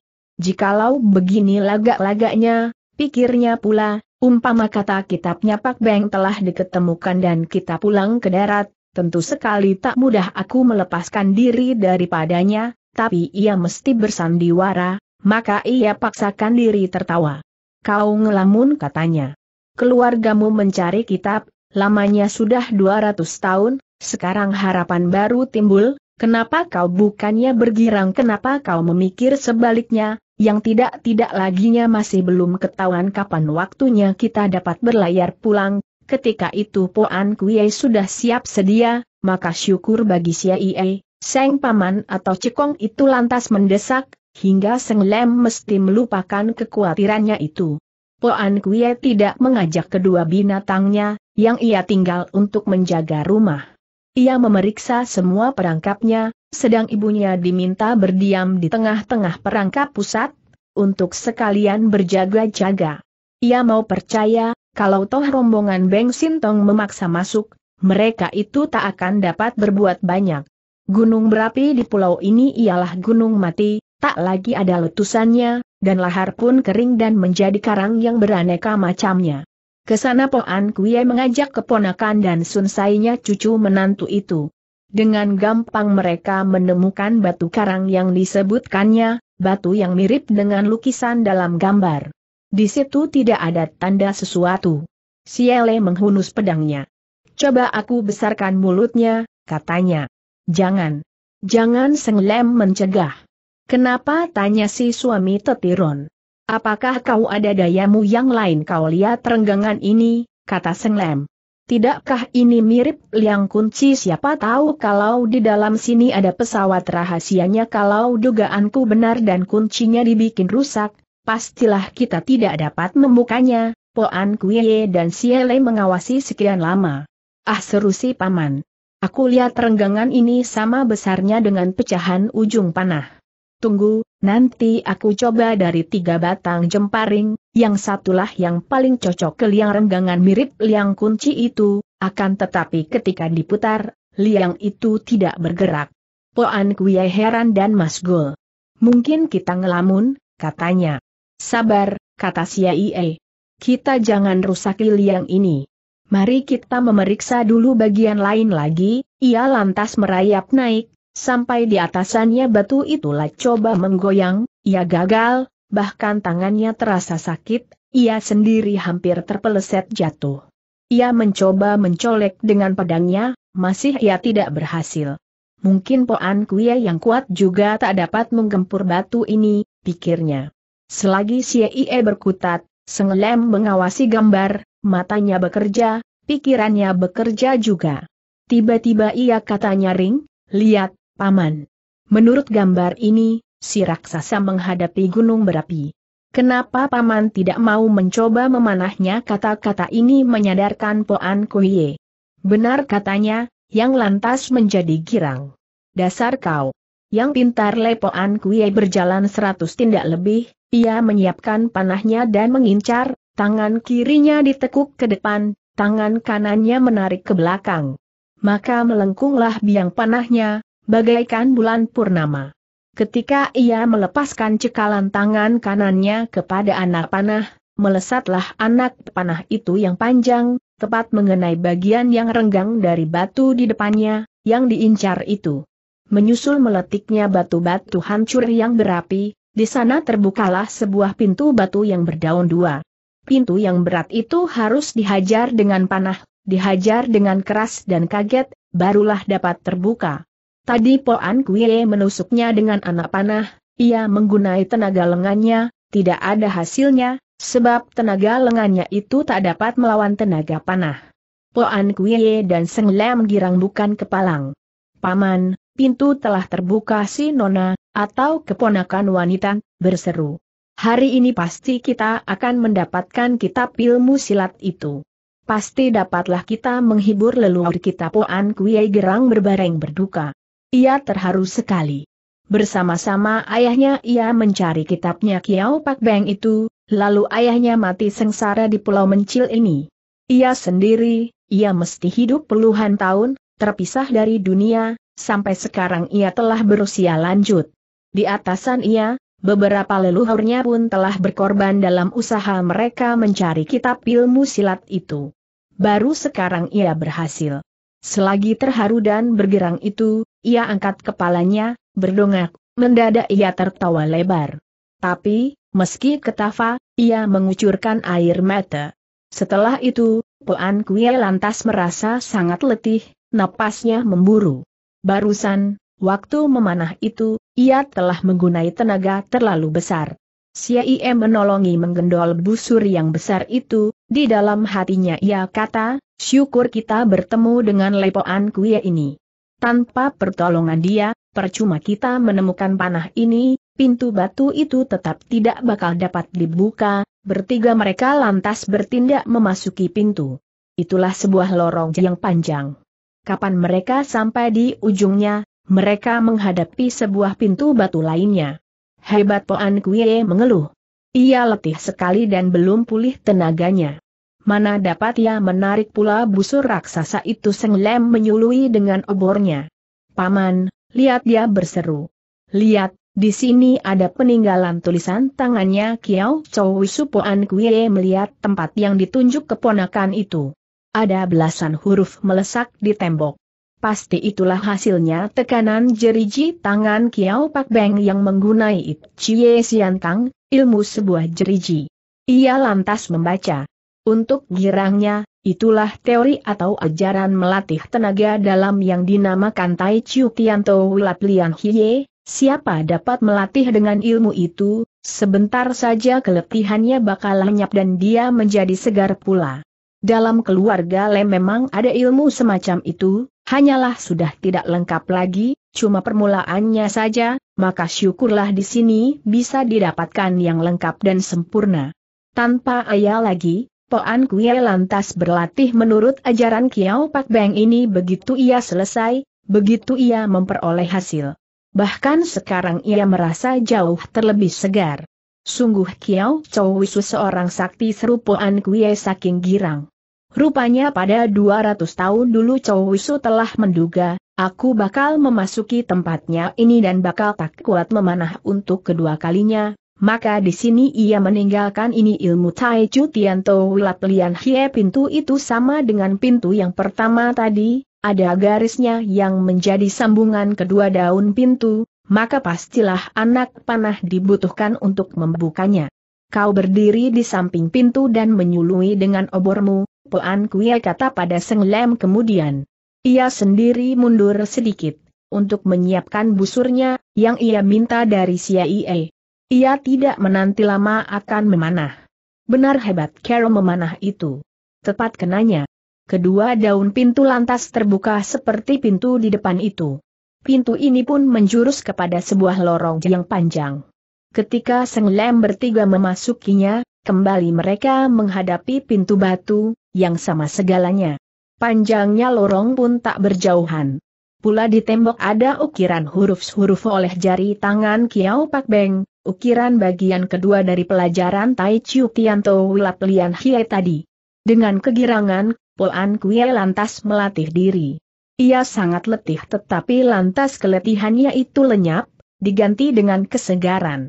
Maka ia pun dapat lantas bekerja pula. Dengan anak panahnya berhasil ia membuka pintu rahasia ini. Sekarang mereka menjadi kagum luar biasa. Begitu kedua daun pintu terpentang, begitu mata mereka menjadi silau. Di sini terdapat cahaya terang dan yang berkilauan. Itulah sebuah kamar di mana antaranya ada sebuah sinkam yang memuat lengkap tulang belulang seorang yang lagi duduk bersila, tangannya memegang sejilid kitab. Yang menyilaukan ialah banyaknya pelbagai batu permata di dalam kamar itu. Pastilah itu harta yang dulu hari dikumpul Kiao Pak Beng, yang sekarang menemani tulang-tulangnya di dalam kamar rahasia ini. Poan Kuei berdiri tercengang. Kegirangannya meluap-luap lantaran sekarang ia lagi menghadapi benda yang dicari itu, yang setiap malam ia seperti buat impian. Ie pun heran dan kagum, tetapi matanya bekerja. Maka di tembok samping ia menampak beberapa baris huruf, yang begini bunyinya, seumurku ada tiga hal yang membuat aku menyesal dan penasaran. Yang pertama yaitu tidak dapat aku bertempur pula secara memuaskan dengan Tio Tan Hong. Yang kedua aku tidak mempunyai ahli waris ilmu silatku ini. Dan yang ketiga aku tidak sanggup pulang ke daratan Tiongkok. Siapa dapat mewakilkan aku memuasi ketiga keinginanku itu, dia boleh mengambil dan memiliki harta berikut kitab warisanku ini. Pesan Kiao Pak Beng di saat meninggalnya, membaca surat wasiat itu, Kim Siai berpikir, inilah hebat. Sampai di saat ia bakal menutup mata ia masih tak lupa niatnya menempur pula Tio Tan Hong, ia tentu tidak menyangka bahwa selewatnya 200 tahun barulah kami yang menemui surat wasiatnya ini, hingga bukan saja Tio Tan Hang sudah tidak ada di dalam dunia, bahkan turunannya pun tak tahu di mana adanya. Tapi dua pesannya yang terakhir, dapat Lei Seng Lem mewujudkannya, Ketika itu Poan Kuei sudah sadar dari tergugunya dan ia bertindak menghampirkan Sin Kam, tangannya diulur untuk mengambil kitab di tangannya patung tengkorak.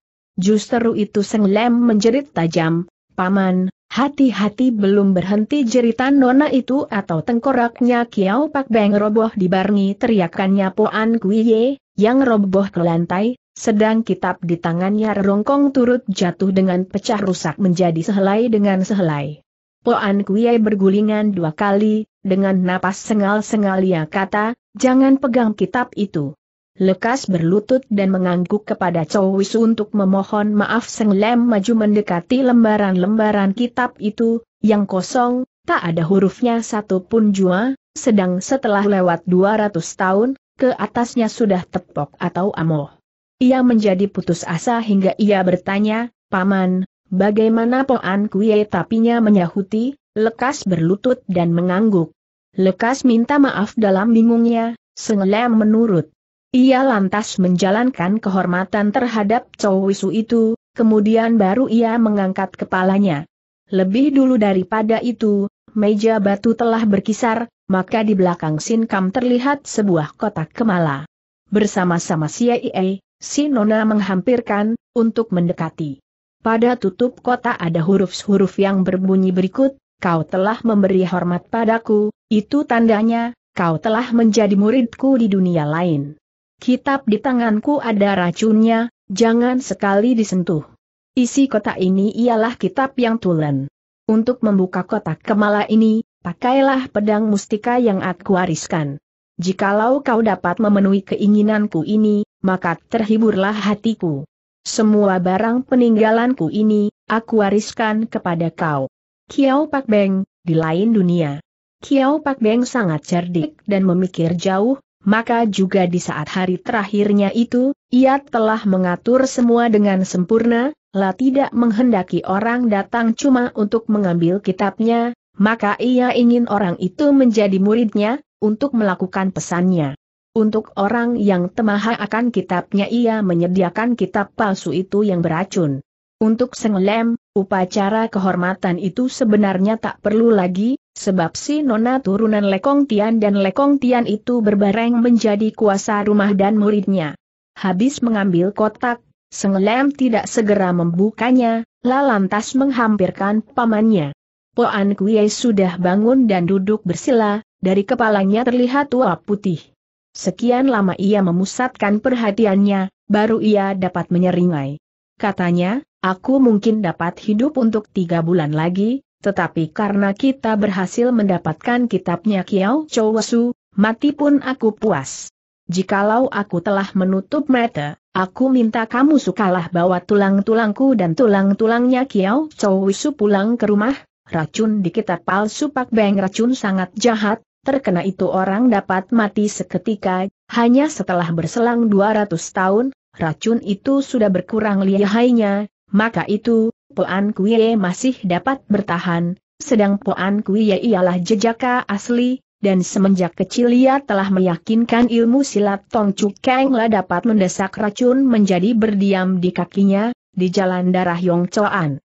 Senglem mengerti hal racun, habis memeriksa pamannya, ia kata, Paman, jangan khawatir. Tenaga paman belum cukup kuat maka racun itu baru dapat didesak ke ujung kaki. Kalau nanti paman sudah meyakinkan isi kitab, dapat paman mengusir habis, bahkan setelah itu, paman bakal jadi tambah kuat luar biasa. Jangan paman takut sinar matanya Poan Kuye memain, ia mendapat harapan. Setelah berpikir sejenak, kembali matanya guram. Ia menggeleng-geleng kepala. Kau cuma tahu satu, tidak tahu dua, katanya. Meski benar kitab ini memuat pelajaran istimewa tetapi untukku sudah tidak ada faedahnya lagi, racun itu lihai luar biasa, Poan Kuye mesti mengerahkan seluruh tenaga dalamnya, baru ia dapat menolak, mendesak sampai di ujung kakinya, di dekat jalan darah Yong Choan. Karena mesti mengerahkan seluruh tenaganya, ia jadi tak dapat memisahkan tenaga untuk berlatih lagi. Pula tenaga dalamnya itu setiap hari akan berkurang, hingga dengan sendirinya, racun akan bekerja semakin hebat. mungkin paling lama ia dapat bertahan tiga bulan, atau racun bakal menyerang jantungnya. Dan itu berarti akan habis sudah jiwanya, sengelem tunduk, ia berpikir. Tidak lama, ia mengangkat kepalanya dan terlihat air mukanya terang. Bahkan ia tertawa dan kata, Paman, kau cuma tahu satu tidak tahu dua poan kuye heran. Apa tanyanya? Kami berdua, dapat kami menggunai tenaga dalam kami untuk membantu Paman, kata Seng keponakan. Paman itu menggeleng kepala. Ia memandang Ie, ia membungkam. Senglem dapat menebak hati paman itu, ia tertawa pula. Sekarang ini memang tenaga dalam Siai beda jauh bila dipadu dengan tenaga dalam paman, katanya, dan tenaga dalamku juga tidak berarti. Akan tetapi kita masih mempunyai waktu tiga bulan. Jikalau kita melatih diri menurut ajaran kitabnya Kiao Chow Su, siapa tahu kita tak akan peroleh kemajuan pesat matanya Poan Kue lantas menyorotkan sinar harapan. Memang yang ia khawatirkan ialah tenaga dalam Ie tak cukup kuat guna membantu padanya. Beberapa kali ia pernah menempur si anak muda, ia tahu habis tenaga orang. Kalau Ie membantu ia, ia bisa disambung umurnya sampai satu tahun. Sebaliknya, Ie sendiri akan berkurang tenaga dalamnya itu. Di situ ada Beng Sintong, itu artinya mereka terus terancam bahaya, kalau tenaga mereka lemah semuanya, bukankah bahaya menjadi terlebih besar sekarang ia mendengar pikiran Seng Lem itu, hatinya terbuka. Seng keponakan benar. Ia boleh mengandalkan bantuan kitabnya Kiao Pak Beng. Mari kitab itu, kasih aku lihat, ia minta. Mari aku periksa apakah ada obat atau care untuk membuat tambah tenaga dalam dalam waktu yang singkat, Seng Lem menyerahkan kotak kemala. Kotak itu kecil, tetapi sama seperti busur kemala, beratnya luar biasa. Siele segera menggunai pedangnya guna mengorek kotak itu. Mulanya ia menggores, terus ia menyongkel. Terbukalah kotak itu. Kagum ia. Tanpa pedang itu, sulit untuk membukanya. Heran Kiao Pak Beng, bagaimana caranya dulu hari dia menutupnya pasti bagus dan kuat sekali kalau kotak ini aku bawa pulang ke daratan dan menyuruh tukang yang pandai membuatkan aku tameng untuk melapis tubuhku, pikirnya. Poan Kue sendiri segera memeriksa kitab ilmu silat itulah menggunai waktu satu jam untuk membacanya. Akhirnya ia menjadi girang sekali dan sangat memuji. Sungguh Kiao Chow Wisu seorang manusia luar biasa katanya.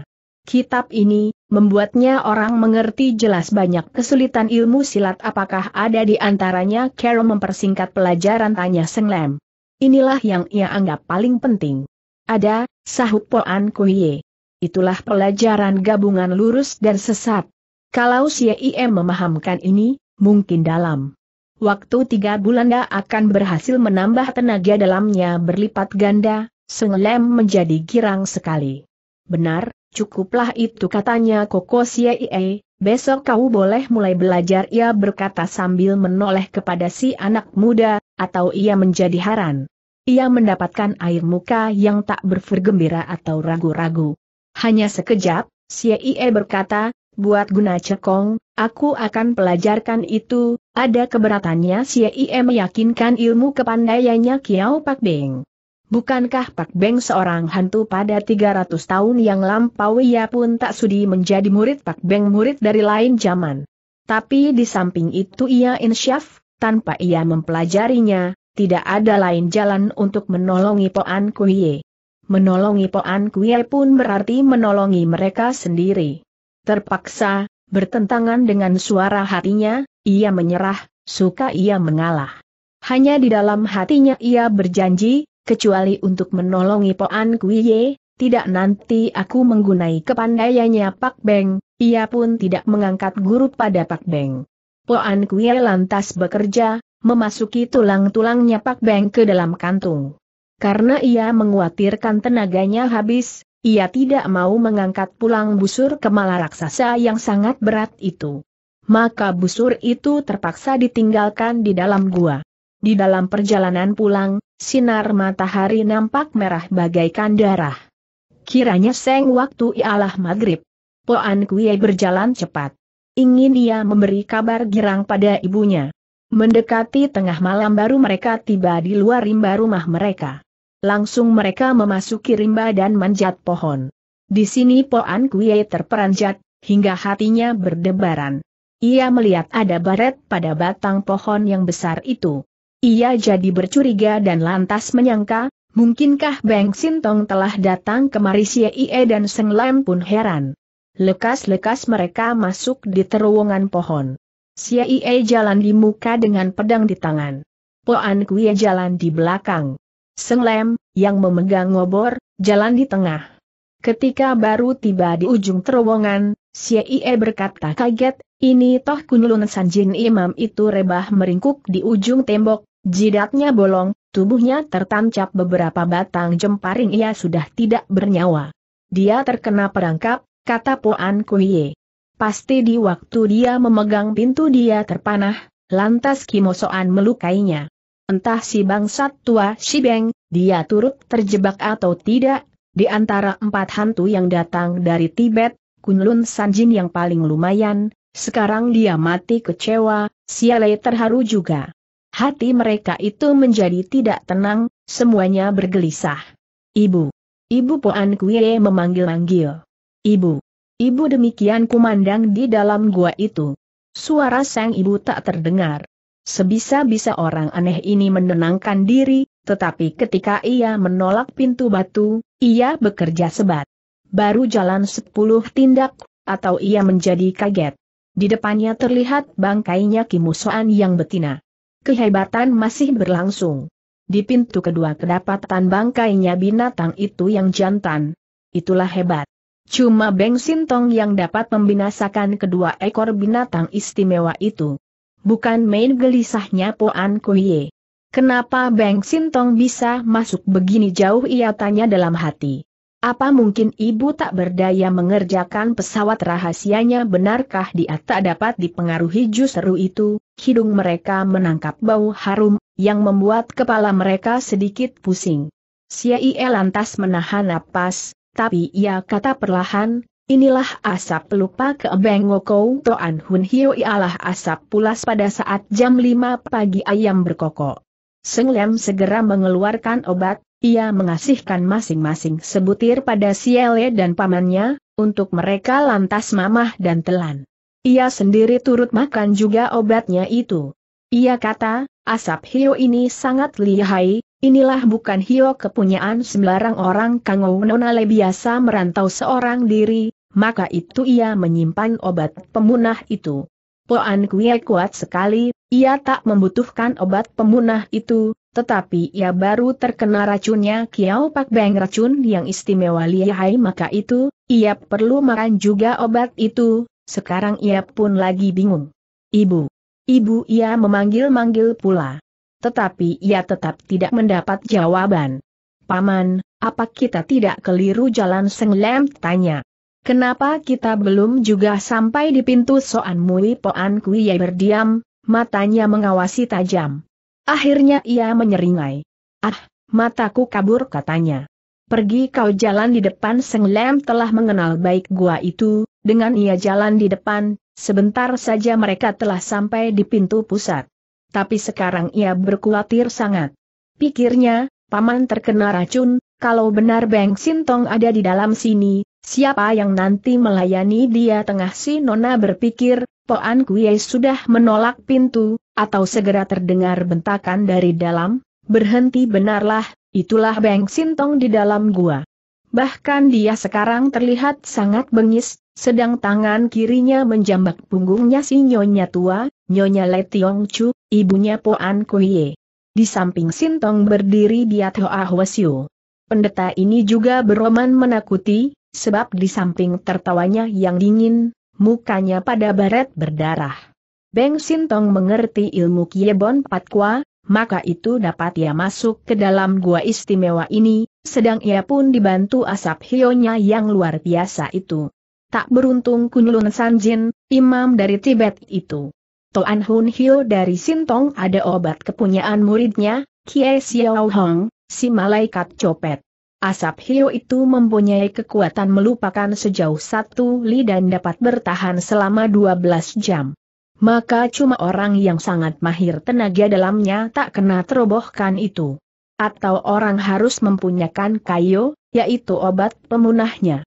Kie Xiao Hang diangkat jadi murid, sebagai persembahan ia memberikan obat pulasnya itu.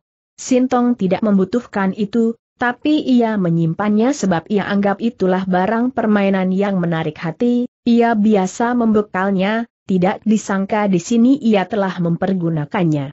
Sebaliknya Poan Kue semua tidak menyangka sekali sebagai seorang guru besar, Sintong Sudi menggunai asap pulas itu. Sintong telah memasang mata, ia mendapat tahu Poan Kue bertiga pergi keluar, maka ia lantas mengajak Kunlun Sanjin dan Biat Hoa Hosio pergi menyateroni gua orang, begitu ia memasuki terowongan, untuk menjaga diri, Sintong lantas menyulut asap pulasnya itu. Ibunya Poan Kue telah lantas mendapat tahu ada orang asing masuk ke guanya, ia mengerjakan perangkapnya, tetapi berbareng dengan itu, ia kena mencium bau hio, hingga tak ampun lagi ia roboh. Lacur Kunlun Sanjin, dia terpanah mati dan Biat Hoa terluka. Kunlun Sanjin diserang Kimosoan, tetapi kedua binatang itu bergantian dihajar mati Sintong dan Biat Hoa. Semasuknya mereka ke dalam, tak susah-susah, si nyonya tua kena ditawan si orang Shibing.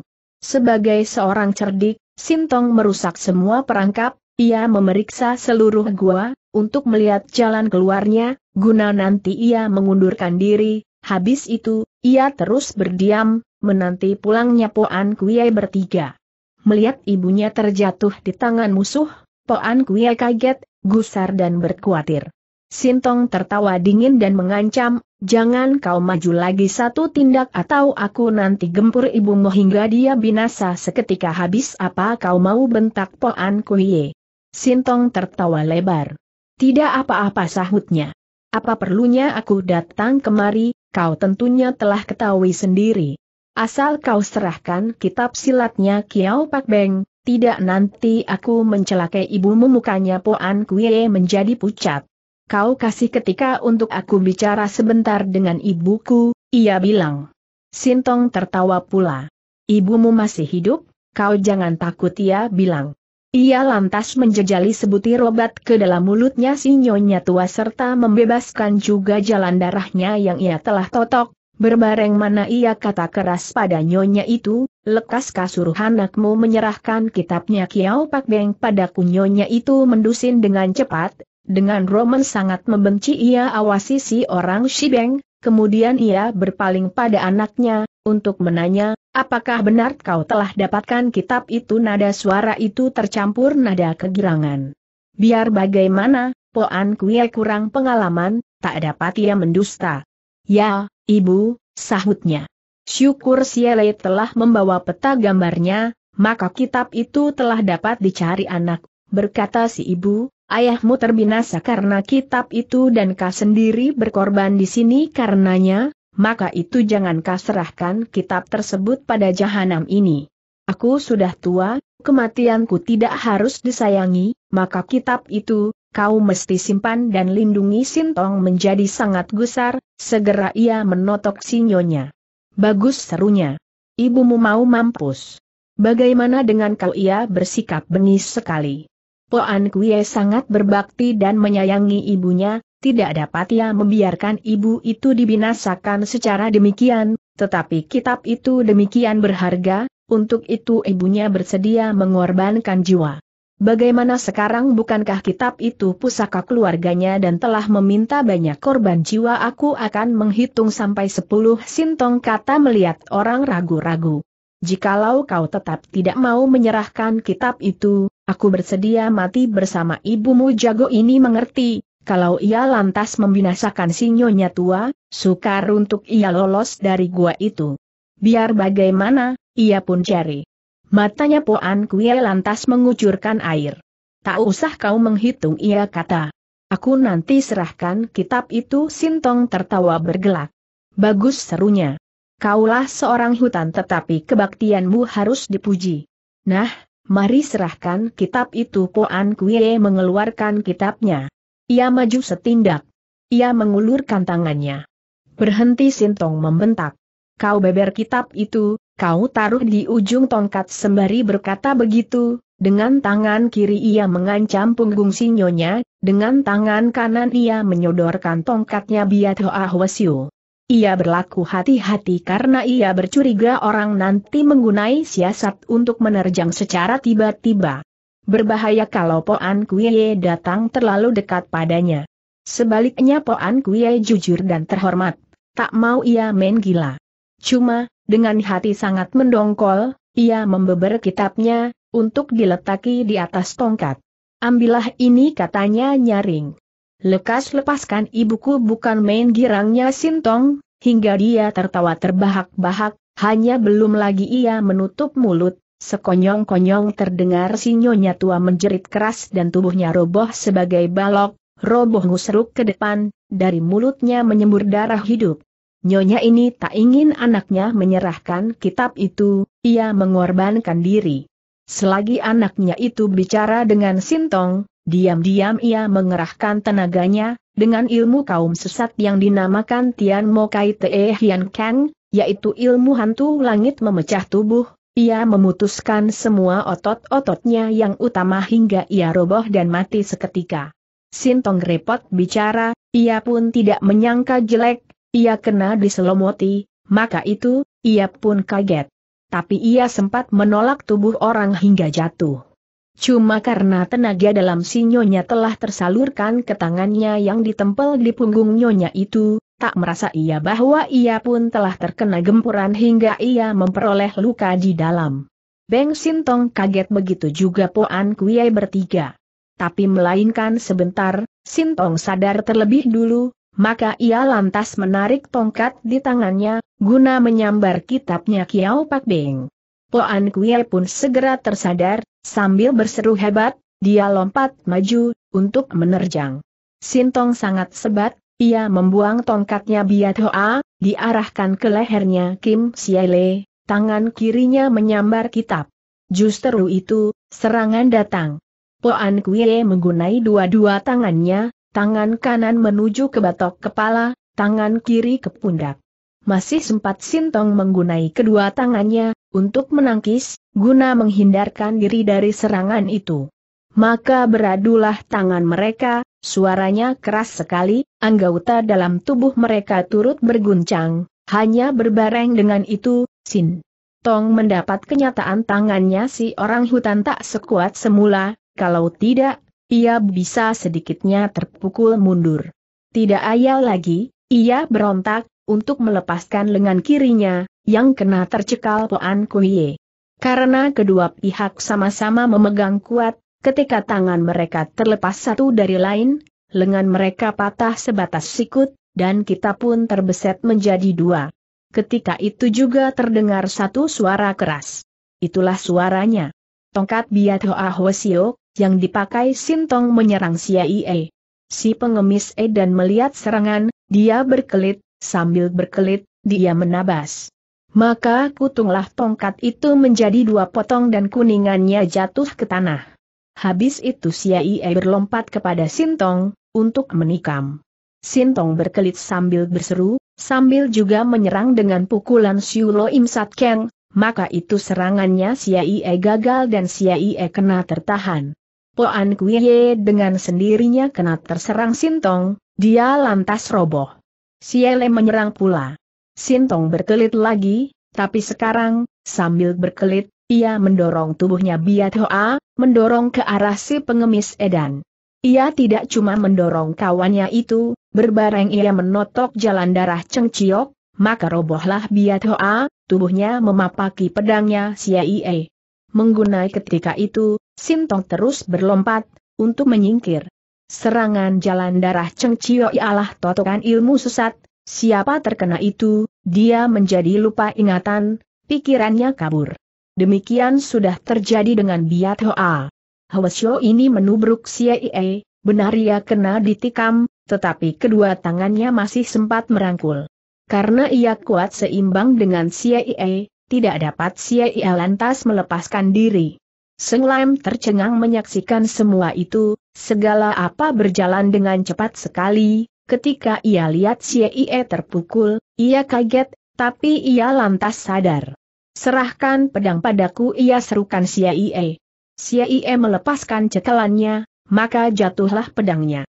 Seng Lam pungut itu, untuk terus dipakai membabat ke arah Biat Hoa, hingga kedua tangan si pendeta putus, dengan begitu, bebaslah Xie Biat Hoa roboh dengan mengasih dengar jeritan yang menyayatkan hati, tubuhnya mandi darah, sedang darah yang menyembur membasahkan pakaian si pengemis Edan.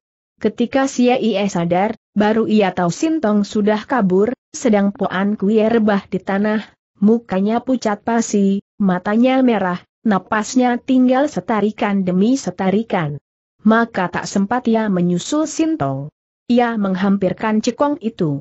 Jangan pedulikan aku, kata Poan Kue perlahan.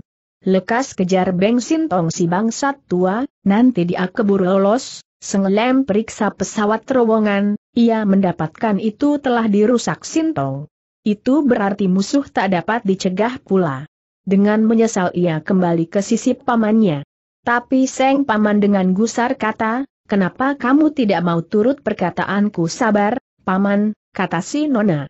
Baiklah paman merawat diri dulu. Tak usah kita khawatirkan bangsat tua itu nanti dapat lolos naik ke langit Poan Kuye menghela napas. Aku tak dapat disembuhkan pula, katanya. Justru dia terluka dan belum sembuh, pergi kamu susul dia, kamu dapat mengalahkannya. Jikalau ditunggu sampai dia sembuh dan sempat berlatih lebih jauh, di kolong langit ini tidak ada lagi orang yang dapat mengekang dia, hingga dengan begitu janganlah diharap sakit hati keluarga Le dapat dilampiaskan. Pergi, lekas pergi. Apakah kamu mau membikin aku mati tak meram baik? Cekong, kami nanti pergi kata Siele. Pemuda ini masih mempunyai pengharapan, ia berkata begitu ia bergerak hendak mengangkat tubuh orang, guna memeriksa lukanya. Ketika ia meraba, ia terkejut.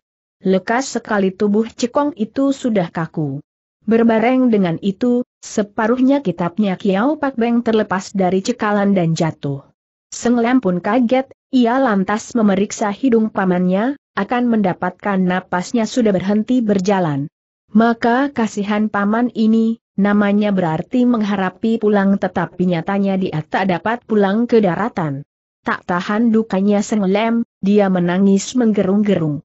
Ie pun berduka bukan main.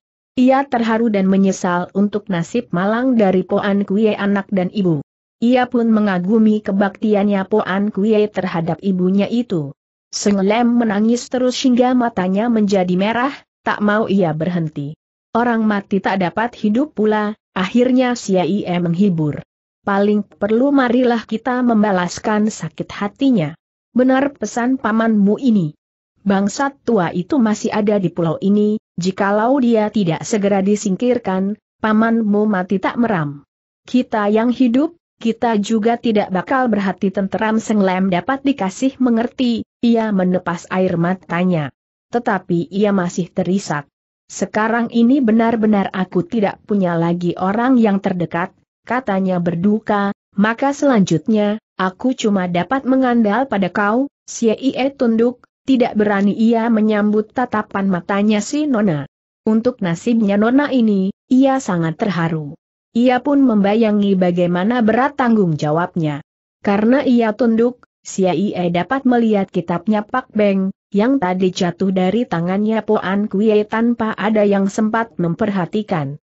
Senglem, inilah kitab pusaka keluarga lekamu, katanya. Benar kitab ini tinggal sebagian tetapi mesti masih ada fadahnya. Kau simpanlah jikalau bukan gara-gara kitab ini, tak nanti pamanku terbinasa kata si Nona, sengit. Ie pun mau percaya kitab itu kitab sial. Bukankah karenanya turunan keluarga lenyap satu demi satu, hingga tinggal Seng Lem seorang tidakkah kecewa kematiannya Poan Kue dan ibunya ini akan tetapi, meski ia memperoleh kesan demikian, ia tidak sepaham dengan sikapnya Seng Lem. Ketika ia menjemput kitab itu, ia lantas mengangsurkannya pada si Nona. Karena kitab ini, pamanmu terbinasa, ia kata. Untuk pamanmu itu, kau mesti menuntut balas. Maka itu, di belakang hari, kita harus mengandal pada kitab ini.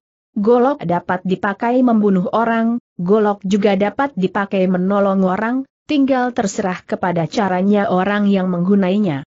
Maka kasimpanlah ini.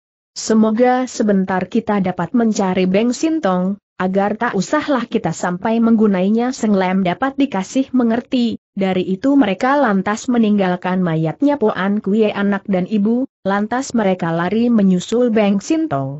Ketika mereka tiba di luar, lenyap sudah tapak kakinya bangsat tua itu, hingga sulit untuk mencarinya. Pulau luas dan rimbanya lebat, mana diketahui Sintong bersembunyi di mana pernah dua kali paman mencari dia dengan membawa-bawa kimosoan, binatang itu pun tidak dapat mencari, kata Senglem, maka itu, ke mana kita harus mencarinya Siele berpikir. Mari kita lihat dulu di tepi laut, ia kata. Kita lihat juga, apa perahu kita masih ada di sana, ya, kita jaga saja perahu itu, Senglem pun akur, atau kita merusaknya lebih hebat. Mustahil dia dapat lolos dari pulau ini, keduanya lantas lari ke tepi laut. Ketika mereka sampai, keduanya mengeluh. Sama pikiran mereka dengan pikiran Beng Sintong tetapi Beng Sintong dapat bekerja terlebih cepat. Di tepian itu tidak ada Beng Sintong, perahu mereka juga lenyap tanpa bekas-bekasnya. Sebaliknya di laut nampak sebuah getek dengan penumpangnya, satu orang. Dialah Beng Sintong. Perahu mereka telah dirusak biat hoa, perahu itu tak dapat dipakai lagi, kalau toh hendak dipakai juga, harus diperbaiki terlebih dulu. Itu berarti waktu beberapa hari. Beng Sintong tidak mempunyai waktu sekalipun beberapa jam. Tapi dia tidak kurang akal. Atau dia nekat. Dia tahu rupanya, berdiam lama di pulau itu berarti dia terancam bahaya. Maka dia bongkar perahu itu, sedapatnya dia membuat semacam getek, dengan itu dia lantas mendayung ke tengah, meninggalkan tepian. Coba tadi si Ie dan Seng Lem segera mengejar, mungkin mereka sempat menyandak selagi orang membuat getek. Beng Sintong si Ie berteriak. Apa kau cari mampusmu dengan naik getek? Seng gelombang akan membawamu ke istananya Hai Liongong Hai Liongong I Allah Raja Naga. Di sana terdengar tertawanya Sintong yang pun berkata, terima kasih untuk kebaikan kamu. Tapi aku lebih suka menghadap Hai Liongong. Coba Hai Liongong tak sudi menerima aku dan aku berhasil kembali ke daratan, bukankah aku bakal jadi si orang gagah tanpa lawan di kolong langit ini Sintong tidak tahu Poan Kue telah mati, menduganya pun tidak. Maka itu, ia jadi takut berdiam di pulau itulah tahu celakalah ia kalau ia sampai dapat dicari musuh tangguh itu. Dengan terpaksa ia menggunai getek. Dengan ini sedikitnya ia masih mempunyai harapan ketolongan. Kalau ia tahu Poan Kue mati, itu berarti bahaya untuk Seng Lem dan Ie, sebab asal ada ketika beberapa hari untuk ia bersembunyi dan merawat diri, sesudah sembuh, muda-mudi itu pasti tak dapat melawan padanya, tak ada kesempatan untuk Seng Lem dan Xie melatih diri menurut ajaran kitab. Lewat lagi sekian lama, Seng Angin pun membawa lenyap tertawanya Sintong itu, yang bersama geteknya seperti ditelan Seng Lautan. Ah, mengeluh Seng Lem, yang mati telah mati, yang pergi telah pergi, tinggal kita berdua di pulau ini, ia menatap si anak muda dengan sinar mata guram selama hidupnya si kenyang menerima damparan hidup tetapi kali inilah yang paling hebat. Perahu telah musnah, tidak ada jalan lain untuk mencoba pulang ke daratan, kecuali meniru Sintong, membuat dan memakai getek juga. Tapi itulah bahaya, tak dapat ia membiarkan Seng Lem menempuhnya. Dengan tetap menyingkir dari sinar mata si Nona, anak muda ini kemudian berkata, hari sudah gelap, mari kita pulang Seng Lem menurut dengan mulut bungkam, tindakannya perlahan. Ie berpikir keras. Mungkinkah ia mesti hidup terus berdua Seng Lem di pulau kosong ini, seperti hidupnya Seng Paman dan ibunya apakah mereka mesti tinggal di sini sampai hari penghabisan mereka benarkah ia, untuk selamanya, tak akan dapat melihat pula Hoa dan Kim Bre mau atau tidak, ia mengalirkan air mata. Hawa di sini dingin, dingin sekali tiba-tiba terdengar senglem. Engko Siai, semua-semua akulah yang mencelakai kau, Siale bagaikan disadarkan dari mimpinya. Kalau Tian menghendaki kita berdua hidup di pulau ini, biarlah, katanya perlahan. Tidak dapat kita membilang siapa mencelakai siapa, tanpa merasa keduanya saling menggenggam tangan mereka. Engko Siai, tak tahu aku bagaimana aku harus mengucapkan syukur kepada kau, kata si Nona. Engko, Benar-benarkah kau berpikir seperti ini janjiku terhadap kau belum pernah aku ubah, jawab Siaie. Kau rupanya lupa bahwa kita pun sudah mengangkat saudara. Mengapa kau mesti berkata begini muka Seng Lem menjadi merah, ia tunduk.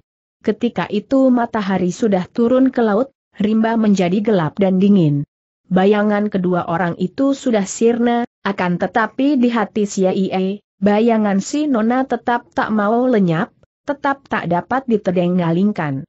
Orang dari siapa ia ingin menyingkir seperti terikat jadi satu dengannya, sebaliknya orang yang ia ingin jumpai, orang itu dipisahkan daripadanya dengan laut yang lebar dan jauh.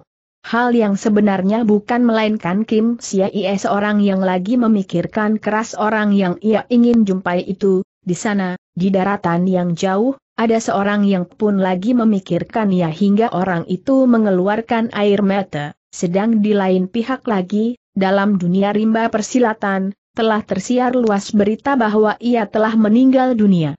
Ketika itu hari Li Kim Bwe melihat dari kaki gunung Laosan lenyapnya perahunya Ie di antara laut yang luas, kedukaannya bukan main besarnya. Sinona lantas mengambil keputusan, apa juga terjadi, ingin ia menyusul.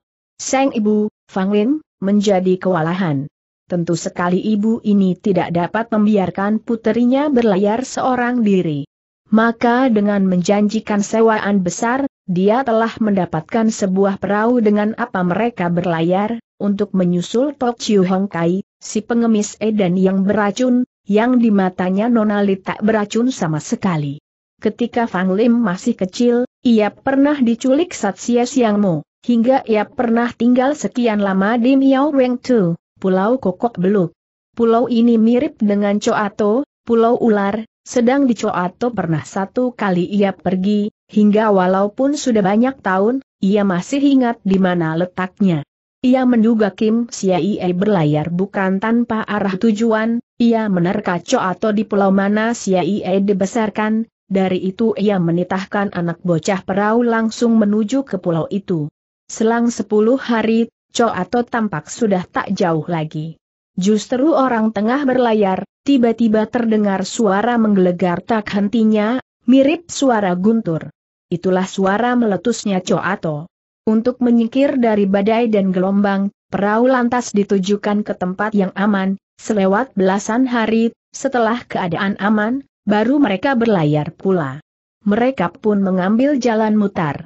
Karena ini, mereka terlambat. Maka ketika akhirnya mereka tiba di pulau, lewat sebulan sejak meletusnya gunung berapi. Setelah perledakan, co atau bagaikan menyalin rupa. Pepohonan ludas. Pulau seperti mati. Seperti tak ada makhluk hidup di atasnya. Yang terlihat ialah batu-batu karang dengan macamnya yang aneh-aneh.